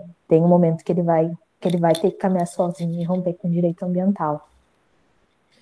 É, eu, até estou escrevendo, eu estou escrevendo um artigo que o Daniel me passou para uma, uma, uma coletânea sobre essa temática relacionada exatamente a, a por que, que são coisas separadas. No caso da filosofia, tu tem a ética entre espécies, tu tem a, a ética voltada para o meio ambiente. Elas não necessariamente se tocam. Por quê? Porque o meio ambiente não é senciente. Então, a preocupação que a gente tem com relação ao ambiente, ao meio ambiente, ela é instrumental, ela tem relevância para os seres sencientes. Obviamente, tem autores que são que defendem uma proposta uh, biocêntrica, em que toda a vida importa. E uh, eu trabalhei com um dos principais autores da área, que é o Andrew Woodhall. Foi o filósofo com que eu publiquei vários livros lá fora e organizei conferências. E o Andrew Woodhall, ele é um biocentrista e mesmo ele tem bastante dificuldade de pegar e fazer um argumento, por exemplo, com relação aos direitos das bactérias, porque eles são seres vivos, seres vivos e tal. Então, como é que tu faz esse, esse sopesamento de interesses aí de, de, que são completamente, radicalmente distintos? Então, essa questão do meio ambiente, ela é muito espinhosa, porque a gente tem que não, não, eu, eu não vejo outra maneira de pensar o ambiente se não for de uma maneira indireta, não for uma, uma, uma maneira instrumental. Com relação à primeira parte da, da, da, da, da tua pergunta, com relação às possibilidades jurídicas de, de, de, uma, de uma educação vegana, uma das preocupações mais comuns na ética é tem como forçar alguém a ser ético? Tipo, o direito pode ter, ter, ter dizer, olha, não mata tal pessoa, porque é errado. Uh, mas isso não é o suficiente para te não pensar que, que seria justificado matar aquela pessoa ali. Ou eu, eu, tive vários encontros, e isso é uma coisa que eu vejo só aqui no Brasil, eu nunca vi isso lá fora. Tem pessoas dizendo: olha, eu só não sou vegetariano porque o governo não me força a ser vegetariano. Porque se o governo me forçasse, eu ia ser.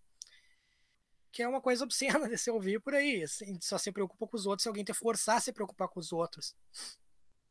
Uh, e eu não vejo isso funcionando em defesa dos animais não humanos de uma maneira efetiva, porque a nossa preocupação com relação aos, meios, aos membros de outras espécies ela exige uma mudança comportamental, ela exige uma troca de paradigma pessoal e cultural. Porque existem exemplos históricos que já nos, já nos encaminham para o que aconteceria se a gente simplesmente pegasse, olha, ninguém agora vai poder consumir carne no, no Brasil, ou consumir nenhum produto de origem animal. O que, que ia acontecer? Nunca ia ser consumir tanta carne no Brasil. Por quê? Porque ia ser, ser criado um mercado ilegal da carne de, de produtos de origem animal. Como aconteceu na década de 30 no, no, nos Estados Unidos, quando o álcool foi abolido. Nunca se tomou tanto álcool lá, nunca se bebeu tanto, nunca se consumiu tanto álcool, porque um grupo de, de, de, de, de feministas católicas, elas, elas, sugeriam que, olha, consumir isso, consumir álcool é imoral, a gente não pode mais, mais fazer isso. Elas passaram uma lei que proibiu o consumo de álcool. E ao mesmo tempo, você consumiu horrores de álcool, e na verdade isso deu origem até à máfia lá nos Estados Unidos. Então, foi historicamente problemático, tanto que eles aboliram depois essa, essa prática. Então, é difícil de ver uh, alguma uma, uma legislação que nos force uh, a gente a nos preocupar com os animais não humanos. o que tu pode fazer é introduzir, tentar introduzir certos elementos, como, sei lá, uh, comida vegana na escola e afins, através de políticas públicas. Só que mesmo aí, é difícil de ver esse tipo de proposta sendo aplicada em massa, porque a indústria da carne ela é subsidiada pelo governo. Então, o governo lucra com aquilo ali, tem gente que lucra com aquilo ali, então se se eventualmente com, começar mais gente começar a virar vegana e vegetariana, afim, afins, a menos seja realmente um montante gigantesco da população, sempre vai ter a possibilidade de tu baixar o preço da carne, as pessoas vão lá, consomem carne, consomem outros produtos de origem animal e, se, e segue o baile da exploração. Então, é muito complicado uh, unir esses dois mundos. Embora existem autores que estejam trabalhando para isso. Por exemplo, tem autores que já estão tão no, no reino do direito, uh, como é o caso da Eva Mayer, que é uma pesquisadora holandesa, que ela vai argumentar que animais não humanos têm o direito ao voto.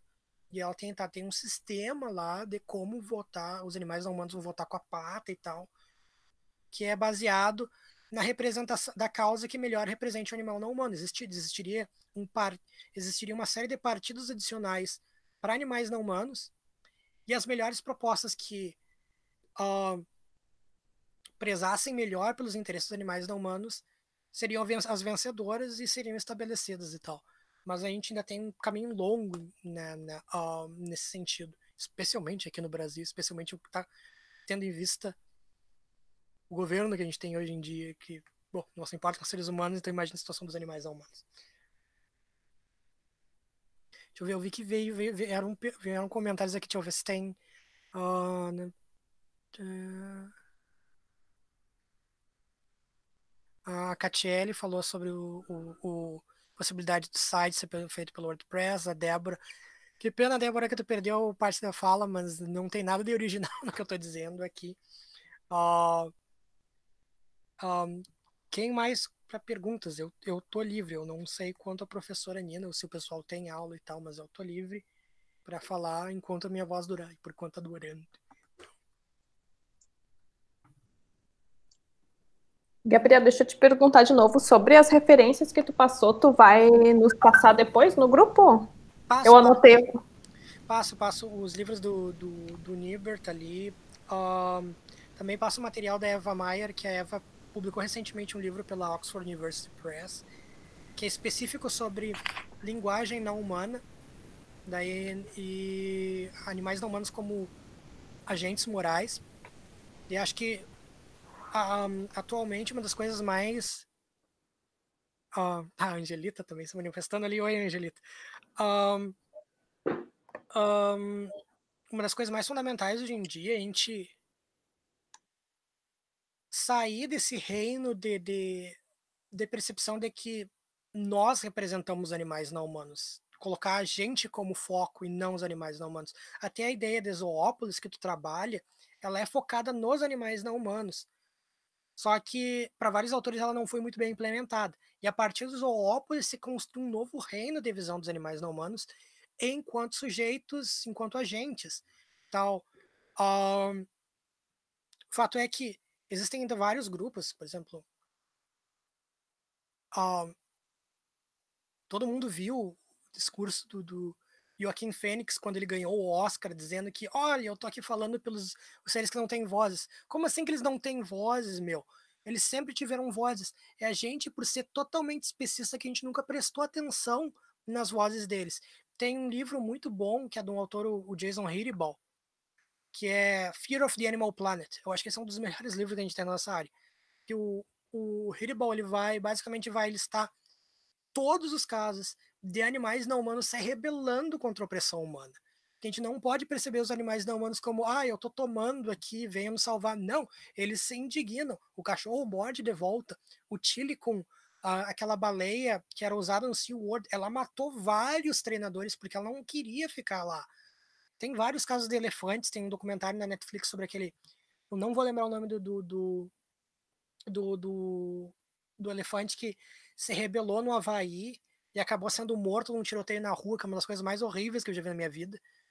uh, que ele não queria, ele não, não, era um elefante que não queria aceitar o tratamento que ele estava recebendo no circo e a, a, atropelou palhaço, atropelou treinador, atropelou multidão, matou gente e tal, e daí o único jeito foram uh, para pararem ele, que descobriram foi darem 400 tiros em cima dele.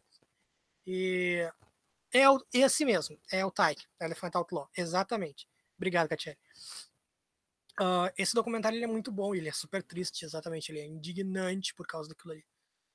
Uh, e a gente precisa mudar a nossa percepção de, de, de sair a gente do, do, da frente dos animais não humanos e pensar, uh, no, nos pensar enquanto aliados dos animais não humanos. Tanto é que nos últimos anos eu tenho. Eu não me considero um abolicionista.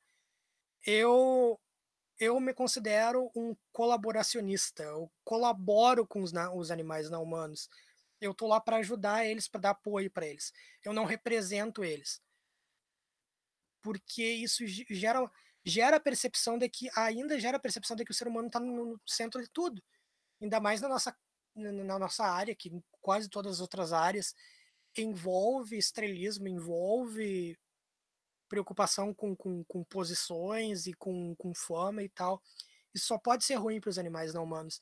Então, o quanto a gente puder ficar na retaguarda e analisar o que, que os animais estão fazendo, porque a própria Eva Mayer, essa autora, fala sobre um ativismo não humano de animais não humanos que se recusam a sair de lugares que os animais, que os seres humanos forçam eles a, não, a saírem de lá e tal. A gente deveria prestar mais atenção em como os animais não humanos se comportam e, e pensar a partir disso o que, que é relevante para a causa deles, que a causa é deles e não nós. Não sei se vai, né, né só um, um adendum que eu fiz aqui com relação a um, essa preocupação que a gente deveria ter com esses estudos que, por enquanto, por exemplo, você pega os autores que a gente vem lendo, Peter Singer, Francine, pegar o Peter Singer, o Peter Singer vai pegar e dizer que, olha, libertação animal é uma paródia outros movimentos. Ele nem leva a sério e tal. Ah, o, o, o, o historicamente, o, o Reagan vai lá, ah, eu não estou falando aqui em direito para voto para animais não humanos. Por que não? Hoje o que mais se debate na área é representação política para animais não humanos. Então tem muita coisa defasada na área que a gente tem que deixar de lado e se focar no que vem, no que tem de novo. E o que tem de novo está sendo excelente, assim, tem, tem, eu, eu, tenho contato com vários dos autores de ponta lá fora, e é difícil uh, se manter atualizado de tudo que tem, vem sendo procurado. Tem um, tem se não me engano, tem, tem, uma, tem uma revista, Animals and Politics, que é, ela é, ela é editada por um amigo meu, Guy Scotton, que ela também ela é voltada especificamente para questões políticas envolvendo os animais não humanos e muitos dos textos que tem lá são são incríveis assim, e não estão chegando aqui. A gente precisa trazer esse material para cá. E como eu mencionei no, no, no, no, no vídeo para o IPA, a gente tem que trazer esse material para cá, mas contextualizando junto à nossa realidade. Não adianta a gente pegar e jogar todos esses autores aqui para o nosso reino e, e, deixarem eles morrerem aqui. Ah, eu não vou levar essa história de voto para animal não humano. Olha que bobagem isso. Não, não, não traz para o nosso contexto. E a partir disso a gente cria uma defesa de, desse, desses, desses autores e dessas ideias.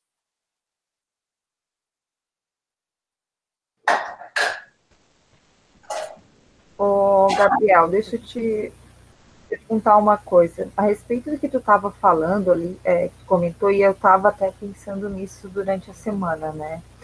É, ok, uh, o direito animal ele já se emancipou, está se emancipando totalmente do, do direito é, ambiental.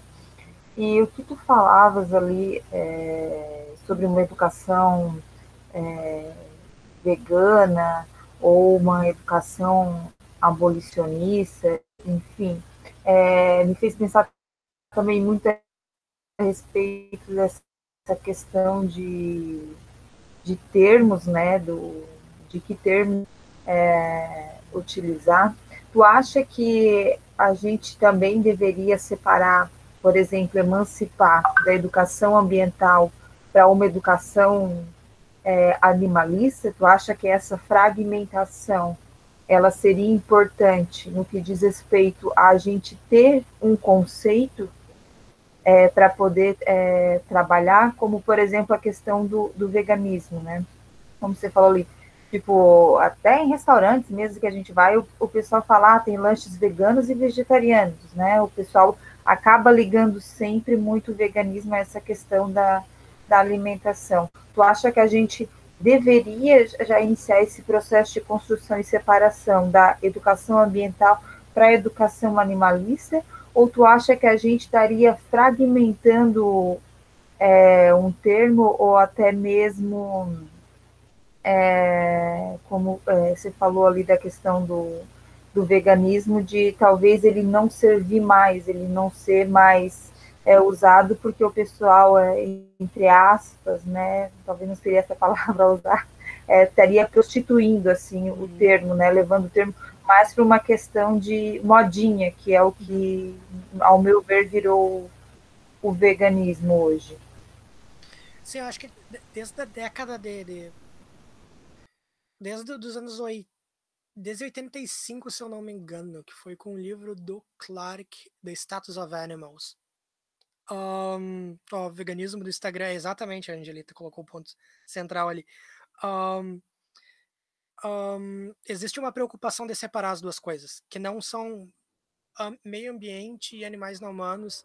Embora os animais não humanos vivem, vivam no meio ambiente e tal, é, a gente deveria deixar as duas coisas separadas. E existe um, um ponto forte e fraco sobre isso que eu já, já toco na sequência fato é que o único jeito de manter os animais não humanos dentro de uma preocupação ambiental é através do biocentrismo. E eu acho que a tese do biocentrismo ela é insustentável. Ela, dificilmente alguém consegue fazer um argumento decente para aquilo ali. Existem tentativas do Paul Taylor e afins, mas eu não sei se ela é suficientemente razoável ali, se eu não me engano, foi em 87 ou 85, saiu um texto do. Eu não vou lembrar do primeiro nome dele, do Sagoff. A tradução do título dele é um, Direitos Animais e Ética Ambiental. Um, um, casamento ruim, um divórcio rápido. Nome do, do, do, do título do, do, texto dele. Que é, é uma análise de por que, que os argumentos voltados para animais não humanos não funcionam no meio ambiente e vice-versa, assim, não, não, não, não, não dá certo e tal. E um, a ideia de, de, de, de, essa separação também tem, tem outro lado, separar o meio ambiente e animais não humanos. Porque a gente, a gente, já, se, a gente já percebe os próprios humanos como estando separados do mundo. É tipo, a gente tá aqui, é um meio urbano e tal. Mas a gente faz parte da natureza, a gente só modificou o meio ao nosso redor. Então, uh, nessa, nessa, toda essa separação uh, meio ambiente, urbano, selvagem e tal, isso aí é toda uma. São, são outras falsas dicotomias que surgem para colocar o ser humano no centro de tudo de novo. Ah, olha o que a gente fez aqui. Ó, o Marx chegava lá, o ser humano é o único que vai lá e consegue alterar o meio ambiente de uma maneira, de, ao meio do meio ambiente dessa maneira, como a gente o faz. Obviamente, outros animais não humanos conseguem alterar o meio ambiente, mas não com com com tanta eficácia e de uma maneira tão brutal que a gente o faz. Mas eles fazem isso também. E nos separar desse meio ambiente gera problemas filosóficos graves, porque, olha, se a gente está separado, porque a gente tem que considerar o que está de fora e tal. Então já vira aquela, toda aquela questão de novo de representação. Ah, eu vou me preocupar por quê? Por pena e tal. Então, eu sempre enfatizo essa questão do, dos seres humanos enquanto animais, e acho que nos perceber destituídos do meio, meio natural também é errado, porque olha, a gente está numa crise ambiental exatamente porque a gente se percebeu como donos da, da casa toda e deu no que deu. Então, um, não tem como desvincular as duas coisas. Com relação ao um, veganismo e vegetarianismo, essas distinções, lá no Reino Unido, um, quando tu vai no mercado, tu pode pegar o produto vegano e o produto vegetariano. O produto vegano é o produto que não, tem, não contém nada de origem animal. O produto vegetariano contém leite e ovos. Tipo, já já já tá nos rótulos das coisas, assim. Só que, obviamente, volta pro problema, assim. Ok, e, e produto vegano da onde? Ah, veio lá numa fábrica que é responsável pela matança de cavalos e tal. Então, é vegano mesmo? Não, não é. Então, uh, eu acho que chegou o ponto de a gente repensar esse termo vegano e encontrar alguma coisa melhor, da mesma forma que eu acho que o termo animal não humano não é mais suficiente, o termo animal ele já está tão culturalmente defasado que a gente teria o único jeito de, de fazer alguma coisa para a gente realmente usar esse termo adequadamente, no sentido que ele deveria ser utilizado, seria resetar toda a cultura humana. Isso não tem como fazer, então a gente precisa de um termo melhor. Um, e. É, o. É, eu não, sei, eu não sei se eu consegui responder a tua pergunta, mas é, são, são preocupações que eu também tenho aqui tal, que no, na, na, tentativa de a gente evitar um problema, a gente acaba criando outro, como esse do, distinguir o meio ambiente dos direitos dos animais não humanos e por aí vai. É, é, a, minha, a minha preocupação, eu fiquei pensando assim, porque se a gente acaba é, separando tudo, é, talvez vai vir aqueles que dizem assim, não, mas a gente estão colocando os animais no, no centro é, do universo como o homem é, se colocou, né? Aí vai vir é, relação animal-natureza, do que se for pegar os artigos, tem, tem vários, né? Relação ser humano-natureza, é, relação homem-natureza. Então, é, só também por uma questão de termo, assim, para a gente, é, na hora de defender, por exemplo, a tese, no meu caso, a gente ter o argumento que a banca não vai hum. acabar questionando, dizendo assim, não, mas não tem é, como fazer isso. Então, por isso, é, da minha preocupação, mas respondeu perfeitamente a, a pergunta, o, o Gabriel. Ótimo, muito obrigada. Eu queria aproveitar. Aproveita. Quer falar? Andressa, fala, depois eu falo. Eu queria aproveitar, porque eu sei que o professor. Dani... Ah, eu queria responder, tem uma, uma pergunta na lista, na, na, lista ali, que eu vou comentar rapidinho. Não sei se a Débora, tu ainda tá online. Me dá um ok aqui, que daí eu respondo, senão eu passo para as próximas e tem esperto voltar. Tá, é, eu só vou responder rapidinho a questão da Débora, que ela trouxe uma, uma, uma pergunta que eu estava discutindo isso outro dia e me interessa bastante. Eu já, já, sei, já sigo com as de vocês. Que a Débora colocou a questão do veganizar. Que uh, se eu podia fazer uma, uma, uma, uma, uma ponderação sobre isso. E realmente, esse termo veganizar me dá ódio, me dá asco. Porque, eu, porque ele me lembra o termo moralizar.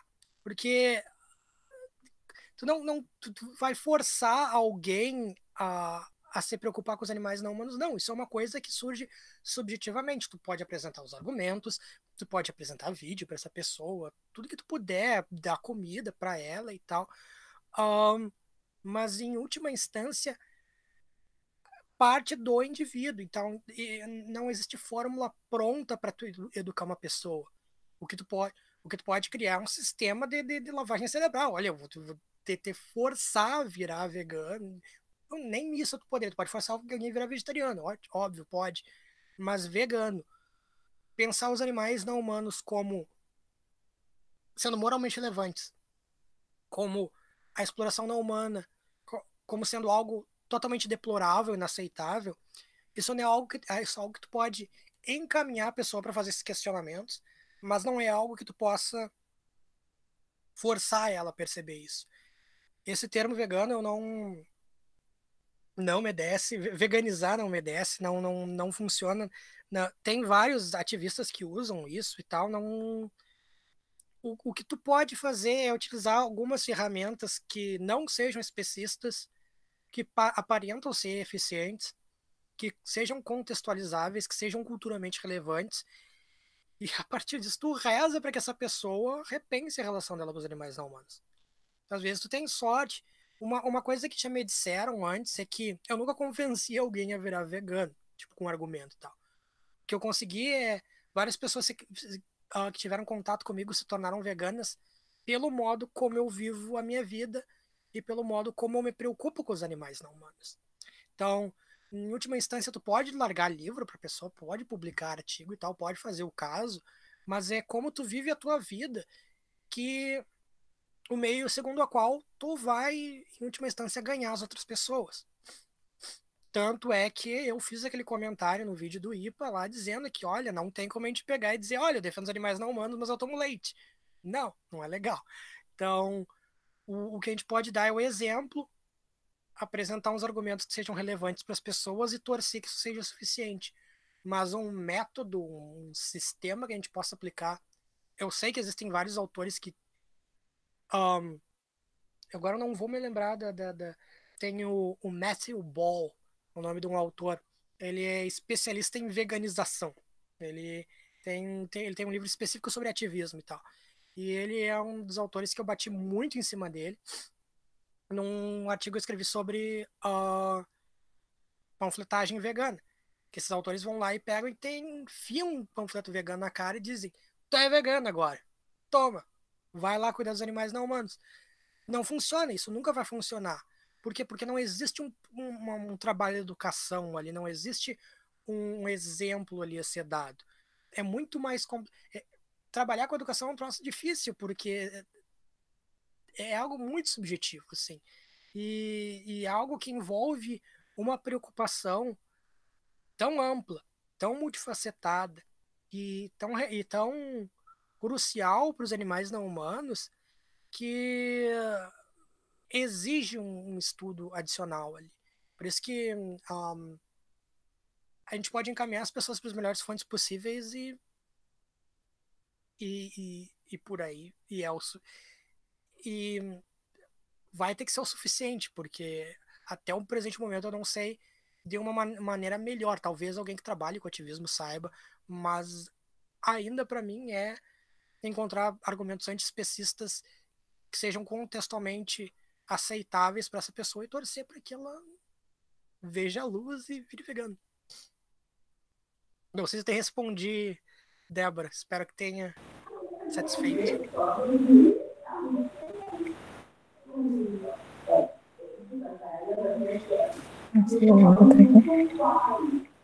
Angelita, obrigado pela presença.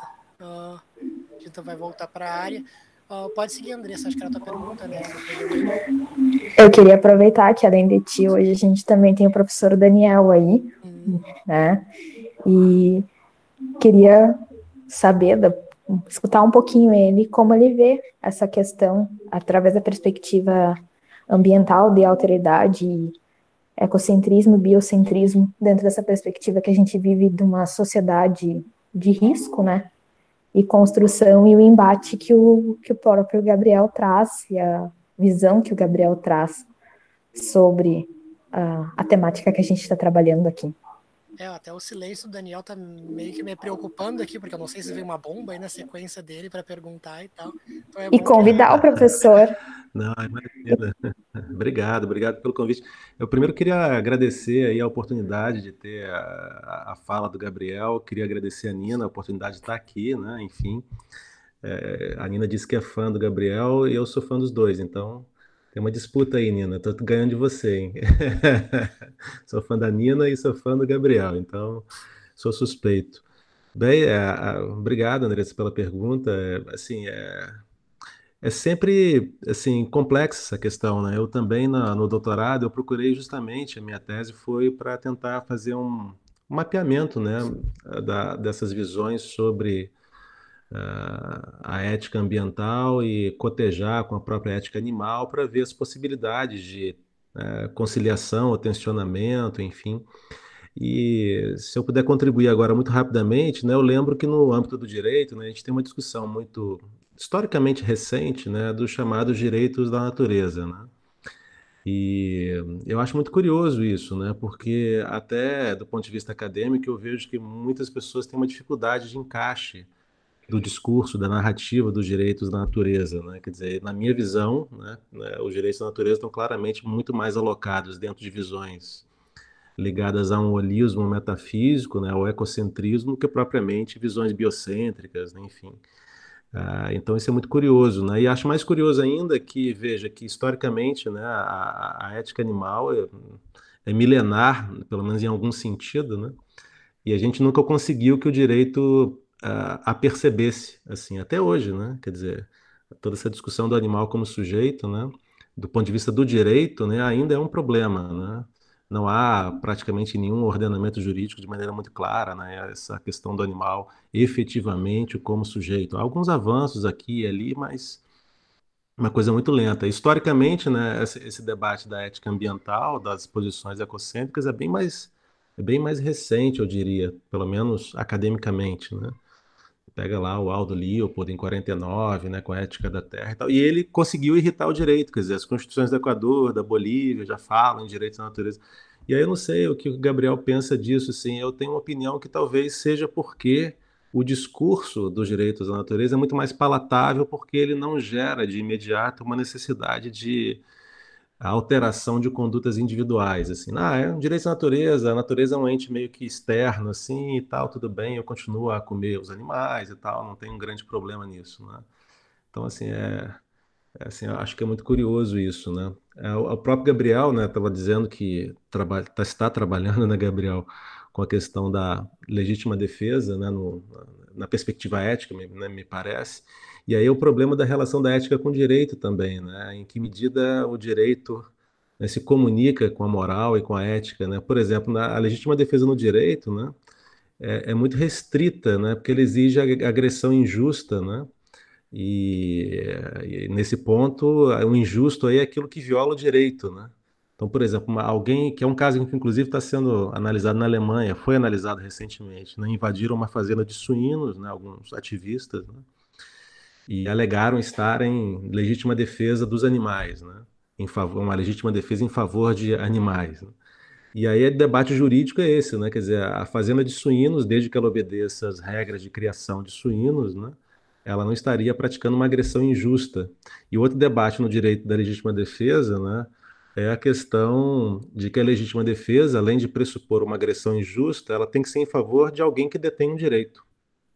E aí a discussão novamente, né? os animais, né, numa visão conservadora, não deteriam esse direito. Então, assim, isso é muito interessante, né? Assim, esses dois lados, né? Quer dizer, o primeiro lado que você levanta do tensionamento entre visões de ética ambiental com a ética animal, e mais macro, né, do próprio direito e a ética, assim, né? A ética é muito mais, com horizontes muito mais largos que o direito. O direito tem paredes mais fechadas para trabalhar essas categorias, né? Então é, é mais difícil, né? Mas obrigado, eu queria só agradecer mesmo, assim, a, fico sempre muito feliz de ouvir o Gabriel. E agora ainda mais, né, Gabriel? A gente está se vendo, né? Assim, é,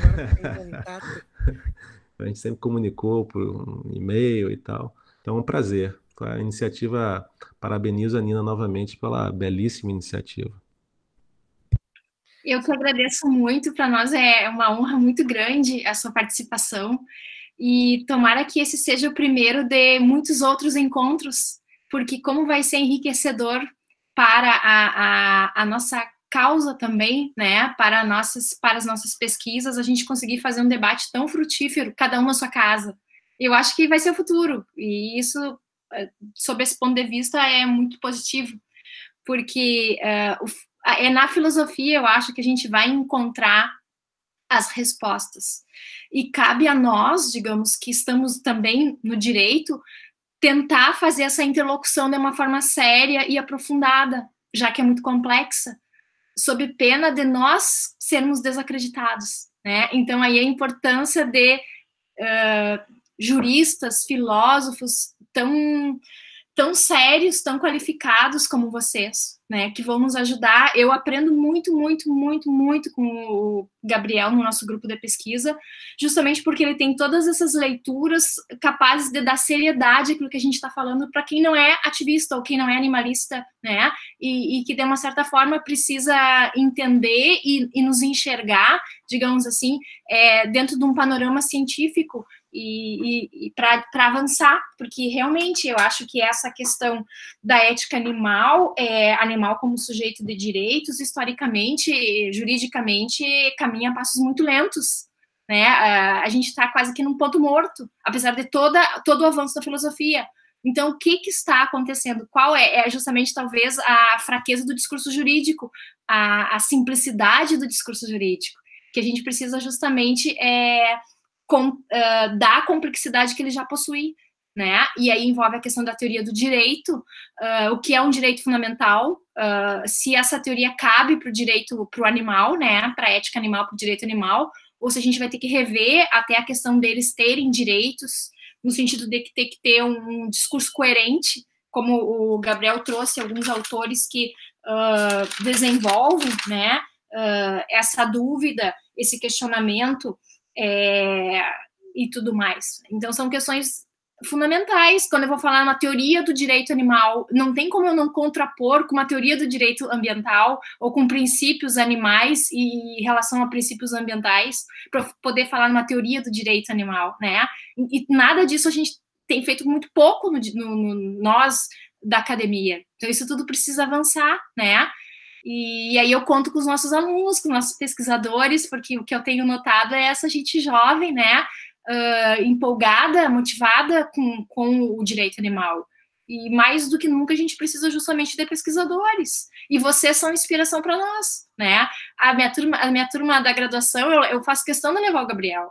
Por quê? Porque os alunos do direito, eles estão preocupados com o concurso público, eles leem os manuais. Muitas vezes eles não tem, tiveram poucos professores, assim, digamos, com o perfil do Gabriel, que é um perfil de um acadêmico, de um pesquisador, de, de uma pessoa séria que vai a fundo naquilo que tá, que a gente vê o quanto ele tem conhecimento e quanto ele respira a filosofia animal, a ética animal, né? E, e quanto essa inspiração é importante nos dias atuais, para a gente não banalizar tudo aquilo que a gente faz, né? Então eu fico muito feliz e muito obrigada pela participação. Uh, obrigado pelo comentário, Nina. Eu vou, eu vou abordar rapidinho primeiro o que o, o, o Daniel falou e na sequência eu volto para o, o teu comentário.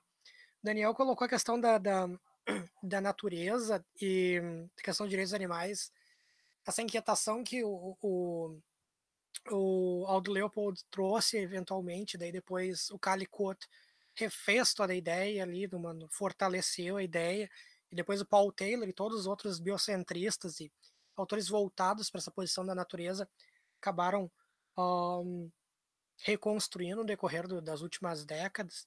Acho que uma, da, uma da, da, das maneiras que é mais fácil a gente perceber, por exemplo, o direito atrelado ao meio ambiente, uma preocupação voltada para o meio ambiente, antes de uma preocupação voltada com os animais não humanos, que a gente tem toda uma percepção idílica do que acontece no meio ambiente.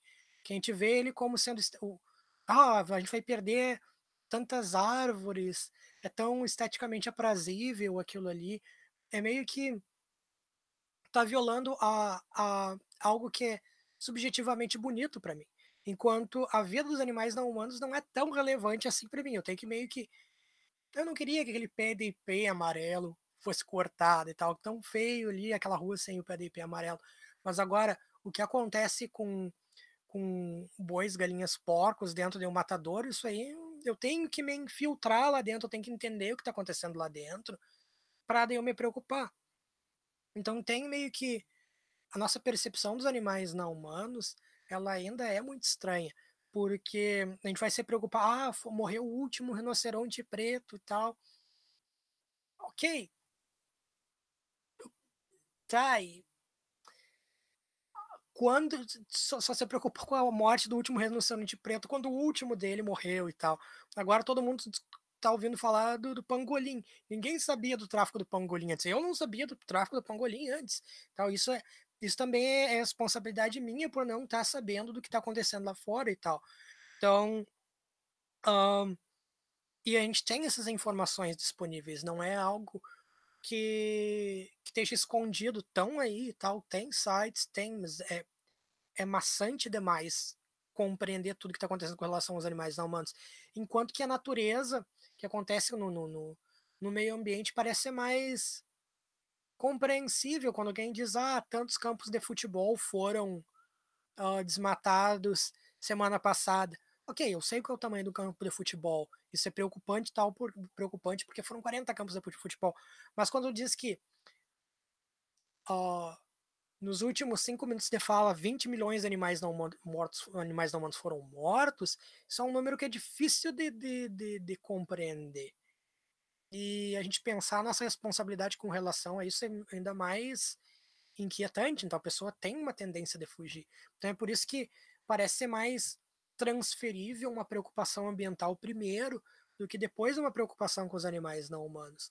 Porque a gente consegue meio que tem uma relação meio, meio histórica com o meio ambiente, enquanto que os animais não humanos ela é mais ah, a gente tem o cachorro e o gato aqui e tal. E olha aqueles chineses malditos que estão comendo cachorro e gato lá, a culpa tudo é deles. Ok, mas todo mundo sabe que as últimas pandemias que aconteceram aí fora, antes do Covid-19, surgiram dentro de matadores de outros lugares. Então, não é uma. Agora que tem esse conflito de, de, de culturas, de ah, aquilo ali não é para comer, aquilo ali é para comer e tal que a gente vê como isso interfere na nossa vida.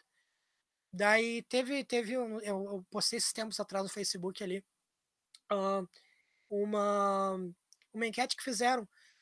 Se você soubesse que se você se tornasse vegetariano, evitaria todas as possíveis pandemias futuras, você se tornaria vegetariano? Se eu não me engano, foi mais de 80% das pessoas disseram que não, não ia se tornar vegetarianos. Então tá aí a seriedade que as pessoas te, uh, a seriedade com qual as pessoas percebem os animais não humanos. É como comida. É, e, e se, se, tem uma percepção, é aquela percepção bem de ah, o último rinoceronte, vamos fazer um abaixo assinado para parar a morte do, do, do, pangolim e tal. Mas tá aí o resto, e aqueles que tá diretamente envolvido com eles. Não, esses aí não. Por isso que acho que é mais fácil de perceber o meio ambiente como, como mais aprazível, é mais fácil tocar no meio ambiente primeiro, porque não tem tanta responsabilidade envolvida quanto que para o animal não humano TV ali. Então, não sei se eu toco na, na, na, não sei se eu consegui tocar nesse ponto do Daniel com relação à legítima defesa. Eu tenho a vantagem de poder fazer falar sobre a legítima defesa dentro da filosofia, e dentro da filosofia a gente trabalha com tudo que é coisa louca.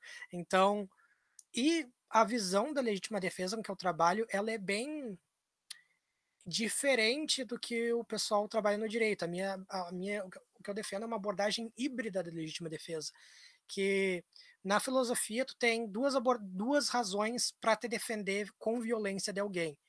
Uh, tem as abordagens que são focadas nas razões do agressor.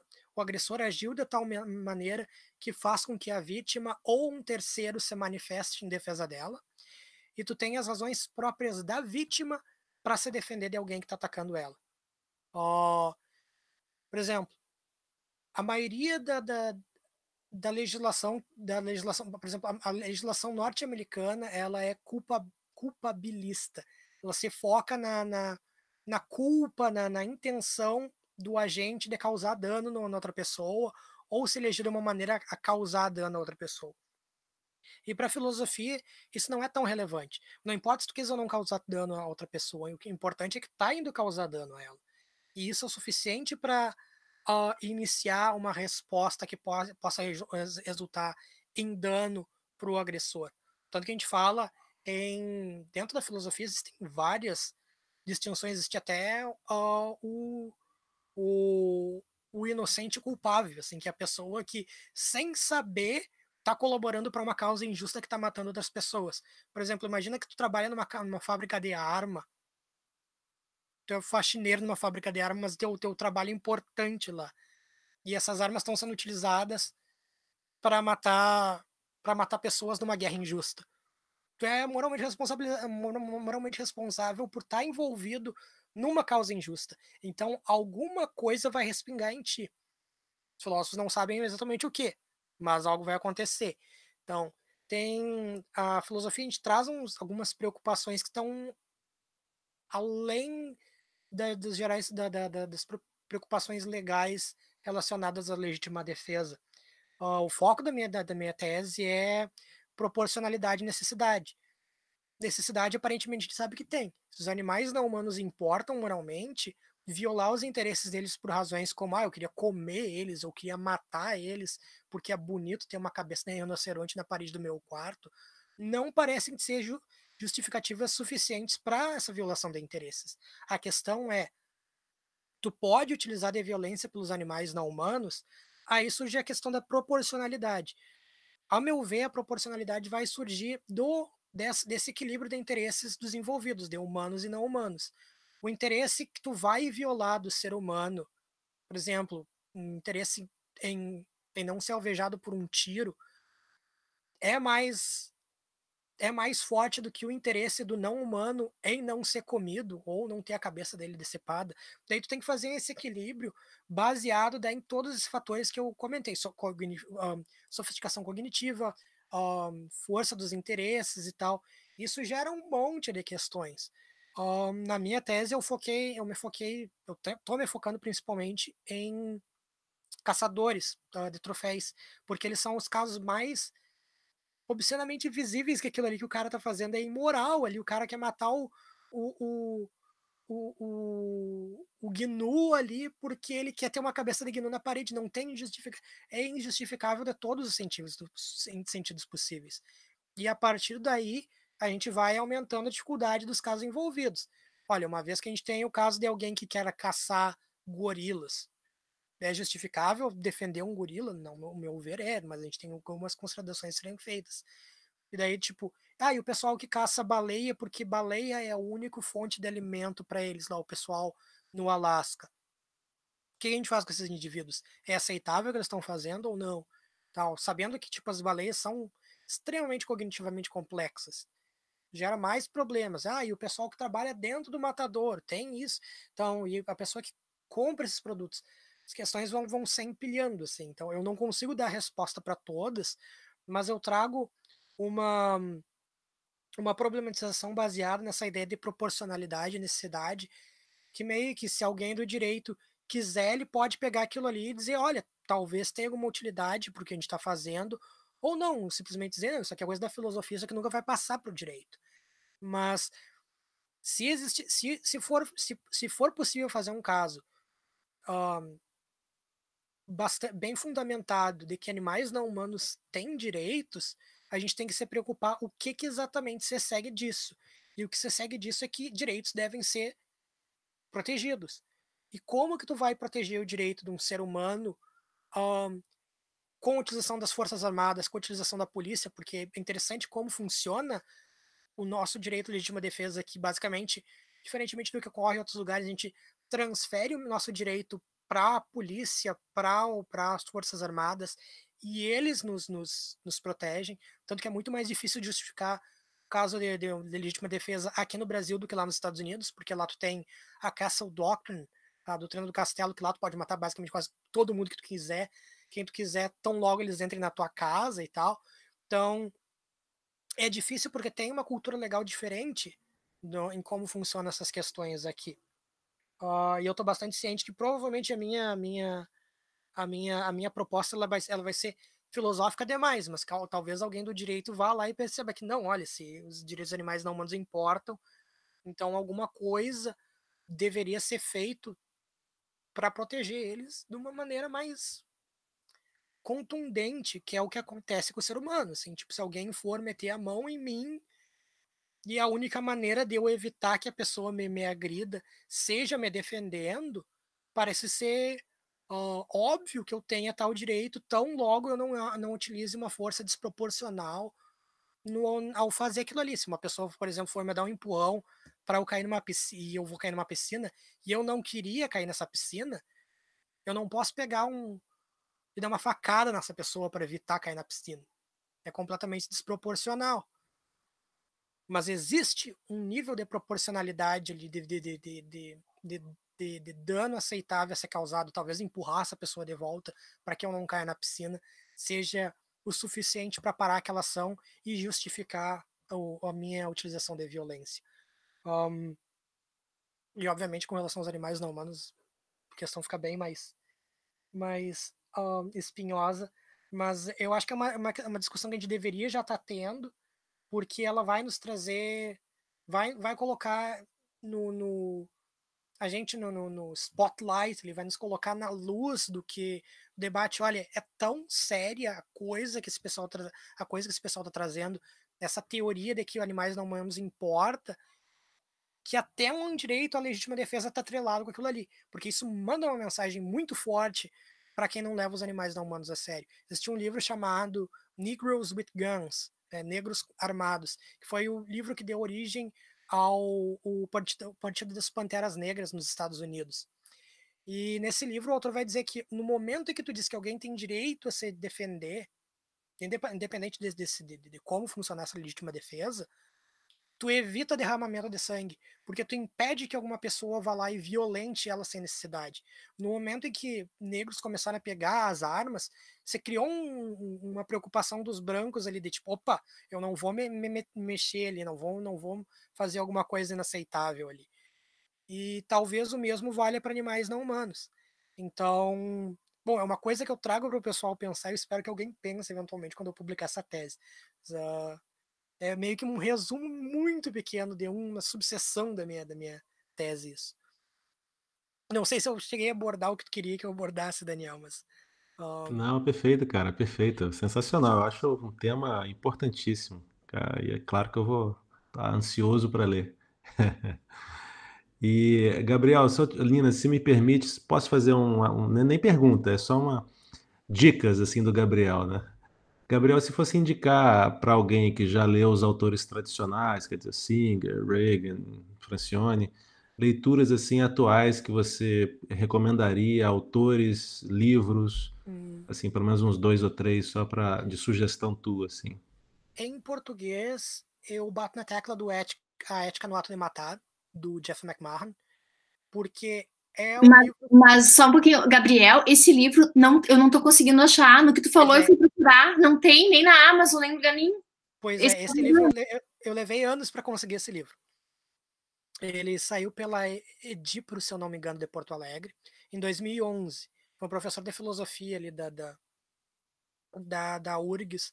Eu conversei com o Jeff McMahon e tal, lá na, lá na Inglaterra, ele, ah, eu soube que tem uma tradução do nosso do, do, do meu livro lá no Brasil, mas ninguém fala desse livro aqui. Ele é um livro super denso, ele aborda questões que são relevantes para todo mundo que trabalha com ética aplicada. Ele trabalha com eutanásia, o aborto e com essa questão dos animais não humanos. E, ela, e ele inicia todo esse debate com relação aos animais não humanos. E, hum, eu tenho ele, se precisar, impresso para fazer cópia e tal, porque um, ele, ele é literatura fundamental porque ele catapulta todos os outros autores para uma preocupação com relação a essa sofisticação cognitiva dos animais não humanos. Em português, esse é o, é o livro que eu citaria junto com A Era da Empatia, do Franz de Waal, porque a Era do, da Empatia vai nos trazer uma percepção diferenciada das capacidades de, de, do comportamento dos animais não humanos, que é outro livro que está sempre esgotado. Eu não tenho ele em português há anos, eu quero ele. A última vez que eu vi esse livro em português estava 350 reais na estante virtual. Uh, que ele é um livro que uh, o Deval ele basicamente defende que a gente tem que repensar a forma como a gente vê o ser humano. Tipo, historicamente tem pensado o ser humano de uma maneira muito negativa, assim, ah, o ser humano é violento, o ser humano é cruel e tal. E uma vez que a gente começa a perceber como os animais não humanos vivem e como se comportam, a gente pode vai ver similaridades e a partir dessas similaridades se cria um caso da com relação à preocupação dos, com, com relação aos animais não humanos. E eu acho que a Ética da Empatia é um dos melhores livros etológicos que a gente tem, uh, que trabalha com primatas superiores, golfinhos, elefantes, uh, símios menores e tal, macacos, lobos, de, uma maneira que, que seja interessante para complementar a área da, da, dessa análise com relação aos interesses dos animais não humanos, porque uma coisa que eu tento bater em alguns dos meus trabalhos é que interesses são de, podem ser de três tipos. Vitais são aqueles interesses que são fundamentais para te continuar vivendo, então interesse em não sofrer, interesse em continuidade existencial, interesse em agir autonomamente, interesse em liberdade. Interesses uh, uh, específicos da espécie, e isso é importante porque às vezes tem conflitos de espécies distintas e tu não percebe que, esses, que os interesses não são os mesmos. Por exemplo, tu pode ter, uh, um, sei lá, tem alguns gerbilos e ratos que eles têm, tipo, se eles não, se eles não fazem buracos, se eles não cavocam, eles um, se deprimem e acabam morrendo e tal. Então, se tu, por exemplo, for criar um animal não humano dessa natureza, tem que ter um espaço para ele fazer o, o, buraquinho dele ali, porque senão ele vai morrer, ele vai sofrer, que é uma coisa que, por exemplo, não tem com relação a um gato, um cachorro e tal. E tu tem interesses específicos dos indivíduos, também voltado para os animais não humanos. Por exemplo, eu tenho três cachorros aqui em casa, três cadelas. Duas delas morrem desesperadamente de medo, elas têm medo desesperado, é trovão e rojão e tiro de, de, de, de fogos de artifício e tal. E daí eu tenho que preparar caminhos para ela quando tem jogo, quando tem fim de ano e tal. E uma delas não, não sente absolutamente nada com isso, não se preocupa com aquilo ali. Então, então tu tem um, interesses distintos próprios indivíduos dentro de uma própria espécie. E a gente tem que levar isso sempre em consideração quando for uh, pensar nos animais não humanos. E o livro do Deval nos traz essas questões de uma maneira bastante ampla. Então, acho que ele é, ele é ele, ele é leitura indispensável daí. Em, em português eu citaria esses dois livros, uh, o do McMahon e o do Deval, como uma boa porta de entrada para essas questões mais atuais. Agora lá fora, obviamente, Zoópolis, não tanto pela tese do Zoópolis, mas a revolução na área que o livro causou. Um, poucos autores, se tu for ver lá fora, levam a tese da comunidade não humana sério. Mas aquilo ali levantou uma provocação tão importante que surgiram várias e várias réplicas sobre aquele tema.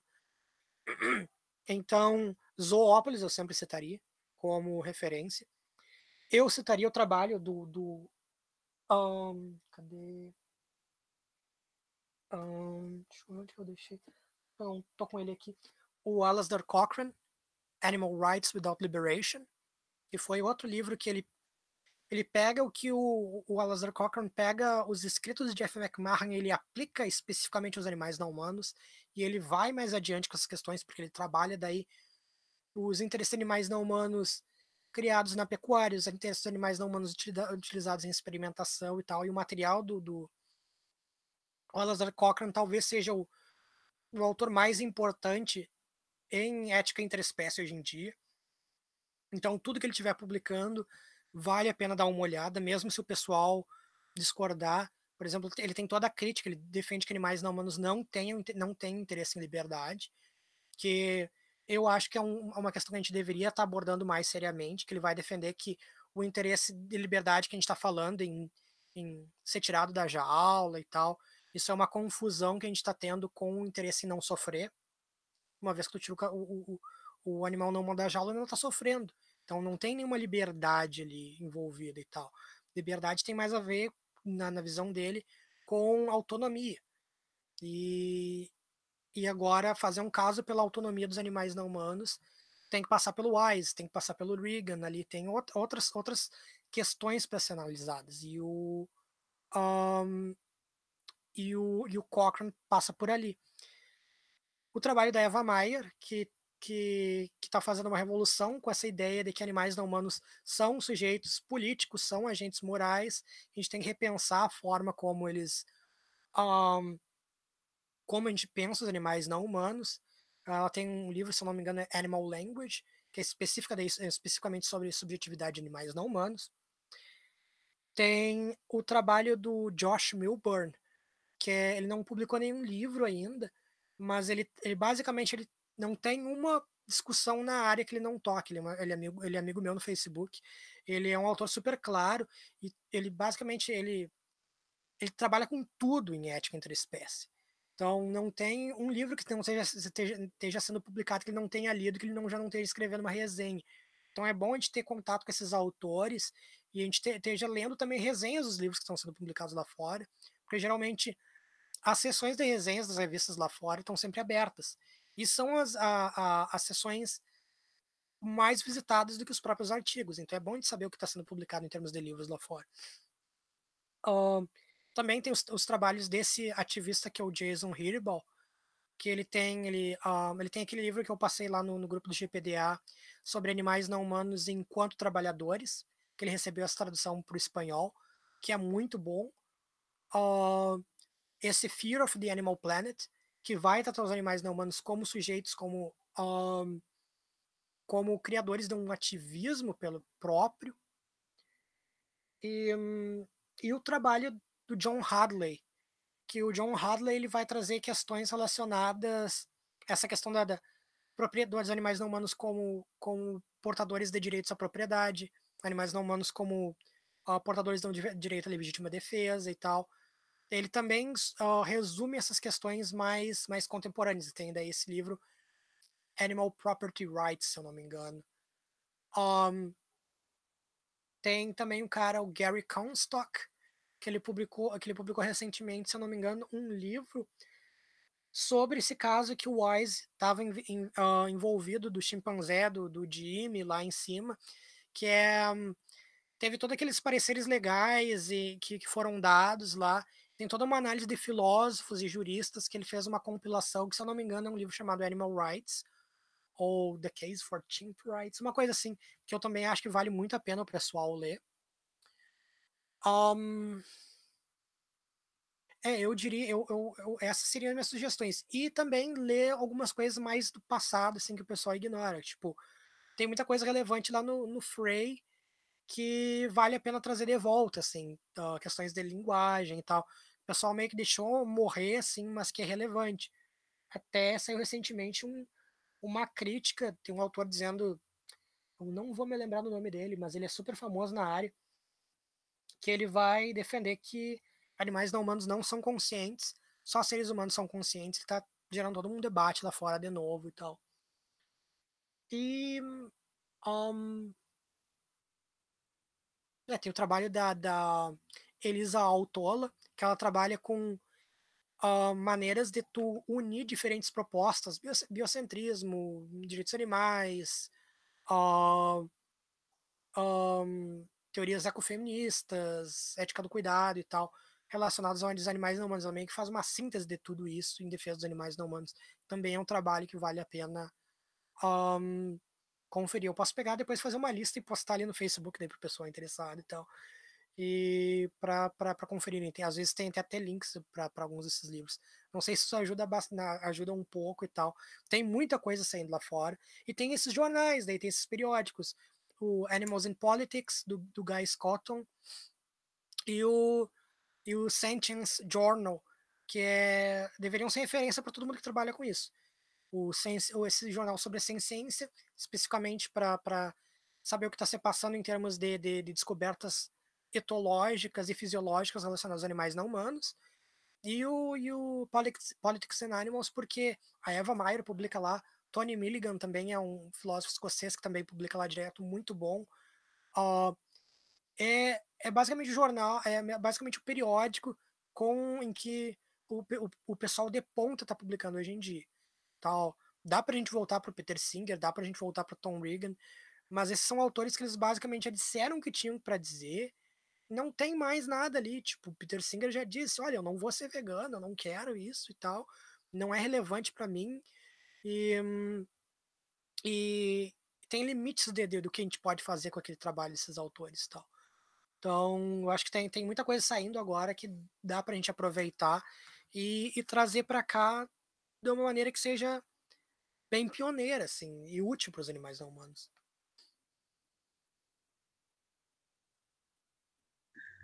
Ai, muito obrigada. Assim, eu acho que foi maravilhosa a, a palestra, a conferência, o nosso encontro, né? Eu agradeço imensamente a todos e a todas.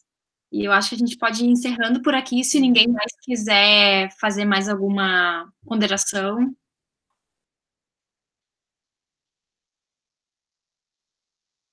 Não? Então, muito obrigada, um bom final de semana para vocês e que seja o primeiro de muitos encontros, porque eu acho, eu tô, eu acho que está sendo muito produtivo esse encontro, esse tipo de encontro, esse modelo de debate, de leituras e pesquisas, né? Eu acho que está sendo bem produtivo. Tá, certo? Fiquem bem. Tchau, tchau. Fiquem em casa se puderem. Tchau, obrigada, pessoal. Obrigada. Tchau, obrigado, ah, Nina. Obrigado, Gabriel. Ah, desculpa, não, não, não tem mais nenhuma, nenhuma questão. Eu caí sem querer ali, eu fui ver se tinha ah. alguém perguntando ali nos comentários e acabei fechando a janelinha. Mas eu tava vendo se tem alguém, algum comentário a mais ali, se tem alguma questão que, por, por mim, eu também respondo, tal, se tiver mais algum, uh, algum assunto a ser tratado.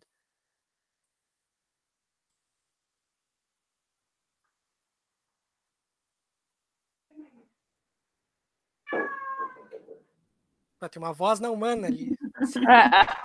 É, é a minha aqui. Bom, se é isso, eu agradeço muito o pessoal que ficou aqui até o final, todo mundo que comentou, uh, que fez perguntas. Desculpa se eu falei muito rápido e tal, é bastante coisa para cobrir. Uh, ou se não ficou muito claro, podem sempre mandar mensagem, eu tento responder isso da melhor maneira possível. Porque é um, é um tema muito é multifacetado, então às vezes, tipo, muita coisa acaba escapando da, da, da mente. Então, repensar depois vale a pena, porque daí talvez eu consiga trazer um, uma resposta mais completinha do que aquela que eu dei aqui. Então, caso algum de vocês tenha mais perguntas depois, podem sempre me mandar, que eu estou aqui disponível para todo mundo, especialmente para os não humanos. Eu queria agradecer, eu com certeza eu vou acabar entrando em contato contigo, Gabriel, então, porque eu tô, tô lendo, tô escrevendo e tá muitas dúvidas estão, estão surgindo na minha pesquisa. E, claro, é, é difícil uh, na academia, porque a minha orientadora, ela não é específica dessa área, ela, então ela foi orientando a, da Sônia foi orientada pela Sônia Felipe, mas ela não é a área dela específica, então assim, ela vai me ajudando bastante, vai me dando um caminho, uh, mas ela não tem essa visão animalista, assim, e acho que isso é bem, bem legal poder a gente poder ter essa troca. É, eu sei bem como é que é, meus orientadores de doutorado também não, não são da área, então tenho, é mais difícil para a gente provar a nossa causa, as nossas ideias para alguém que não é da área, mas isso até é alguma coisa muito boa, porque daí força que a gente uhum. faça uma, uma, um polimento nos argumentos, porque quando o autor é da área, então meio que tipo fica meio um, é difícil assim, é, tipo é, é, fácil assim pegar e trazer o, o argumento para eles. Então, quando é um orientador é de, é de, outra área, então vale a pena a gente pegar esse fazer esse esforço a mais, porque vale a pena para os animais, né? É, é um exercício. Uhum. Então tá, eu agradeço muito. Obrigado pelas questões, Valesca, Alesca, e obrigado pelos comentários. Uh, Nina, eu, eu, faço uma cobrança. Tomara que tu continue com essa proposta que achei muito legal. Assim, eu também, eu tô gostando muito. A gente também tá no outro grupo GPDcom fazendo assim, eu tô achando assim muito legal, muito legal mesmo. Eu acho que, eu não sei se nós vamos ter encontros pessoais tão intensos, mesmo, depo mesmo depois que acabar a pandemia, porque assim, tá havendo bastante participação, né? E, e eu, não, eu não noto diferença, assim, estarmos cada um na sua casa do que no sentido do conhecimento, da troca, né, nesse contexto. Então, tomara que a gente continue. Muito obrigada. Eu gostei bastante do formato, achei excelente. Espero que uhum. espero realmente continue. Uh, e pode contar comigo para a próxima e tal, porque eu ah, Muito obrigada. Tá bom. Agradeço a todos e todas. Por aqui. Tem mais, pessoal.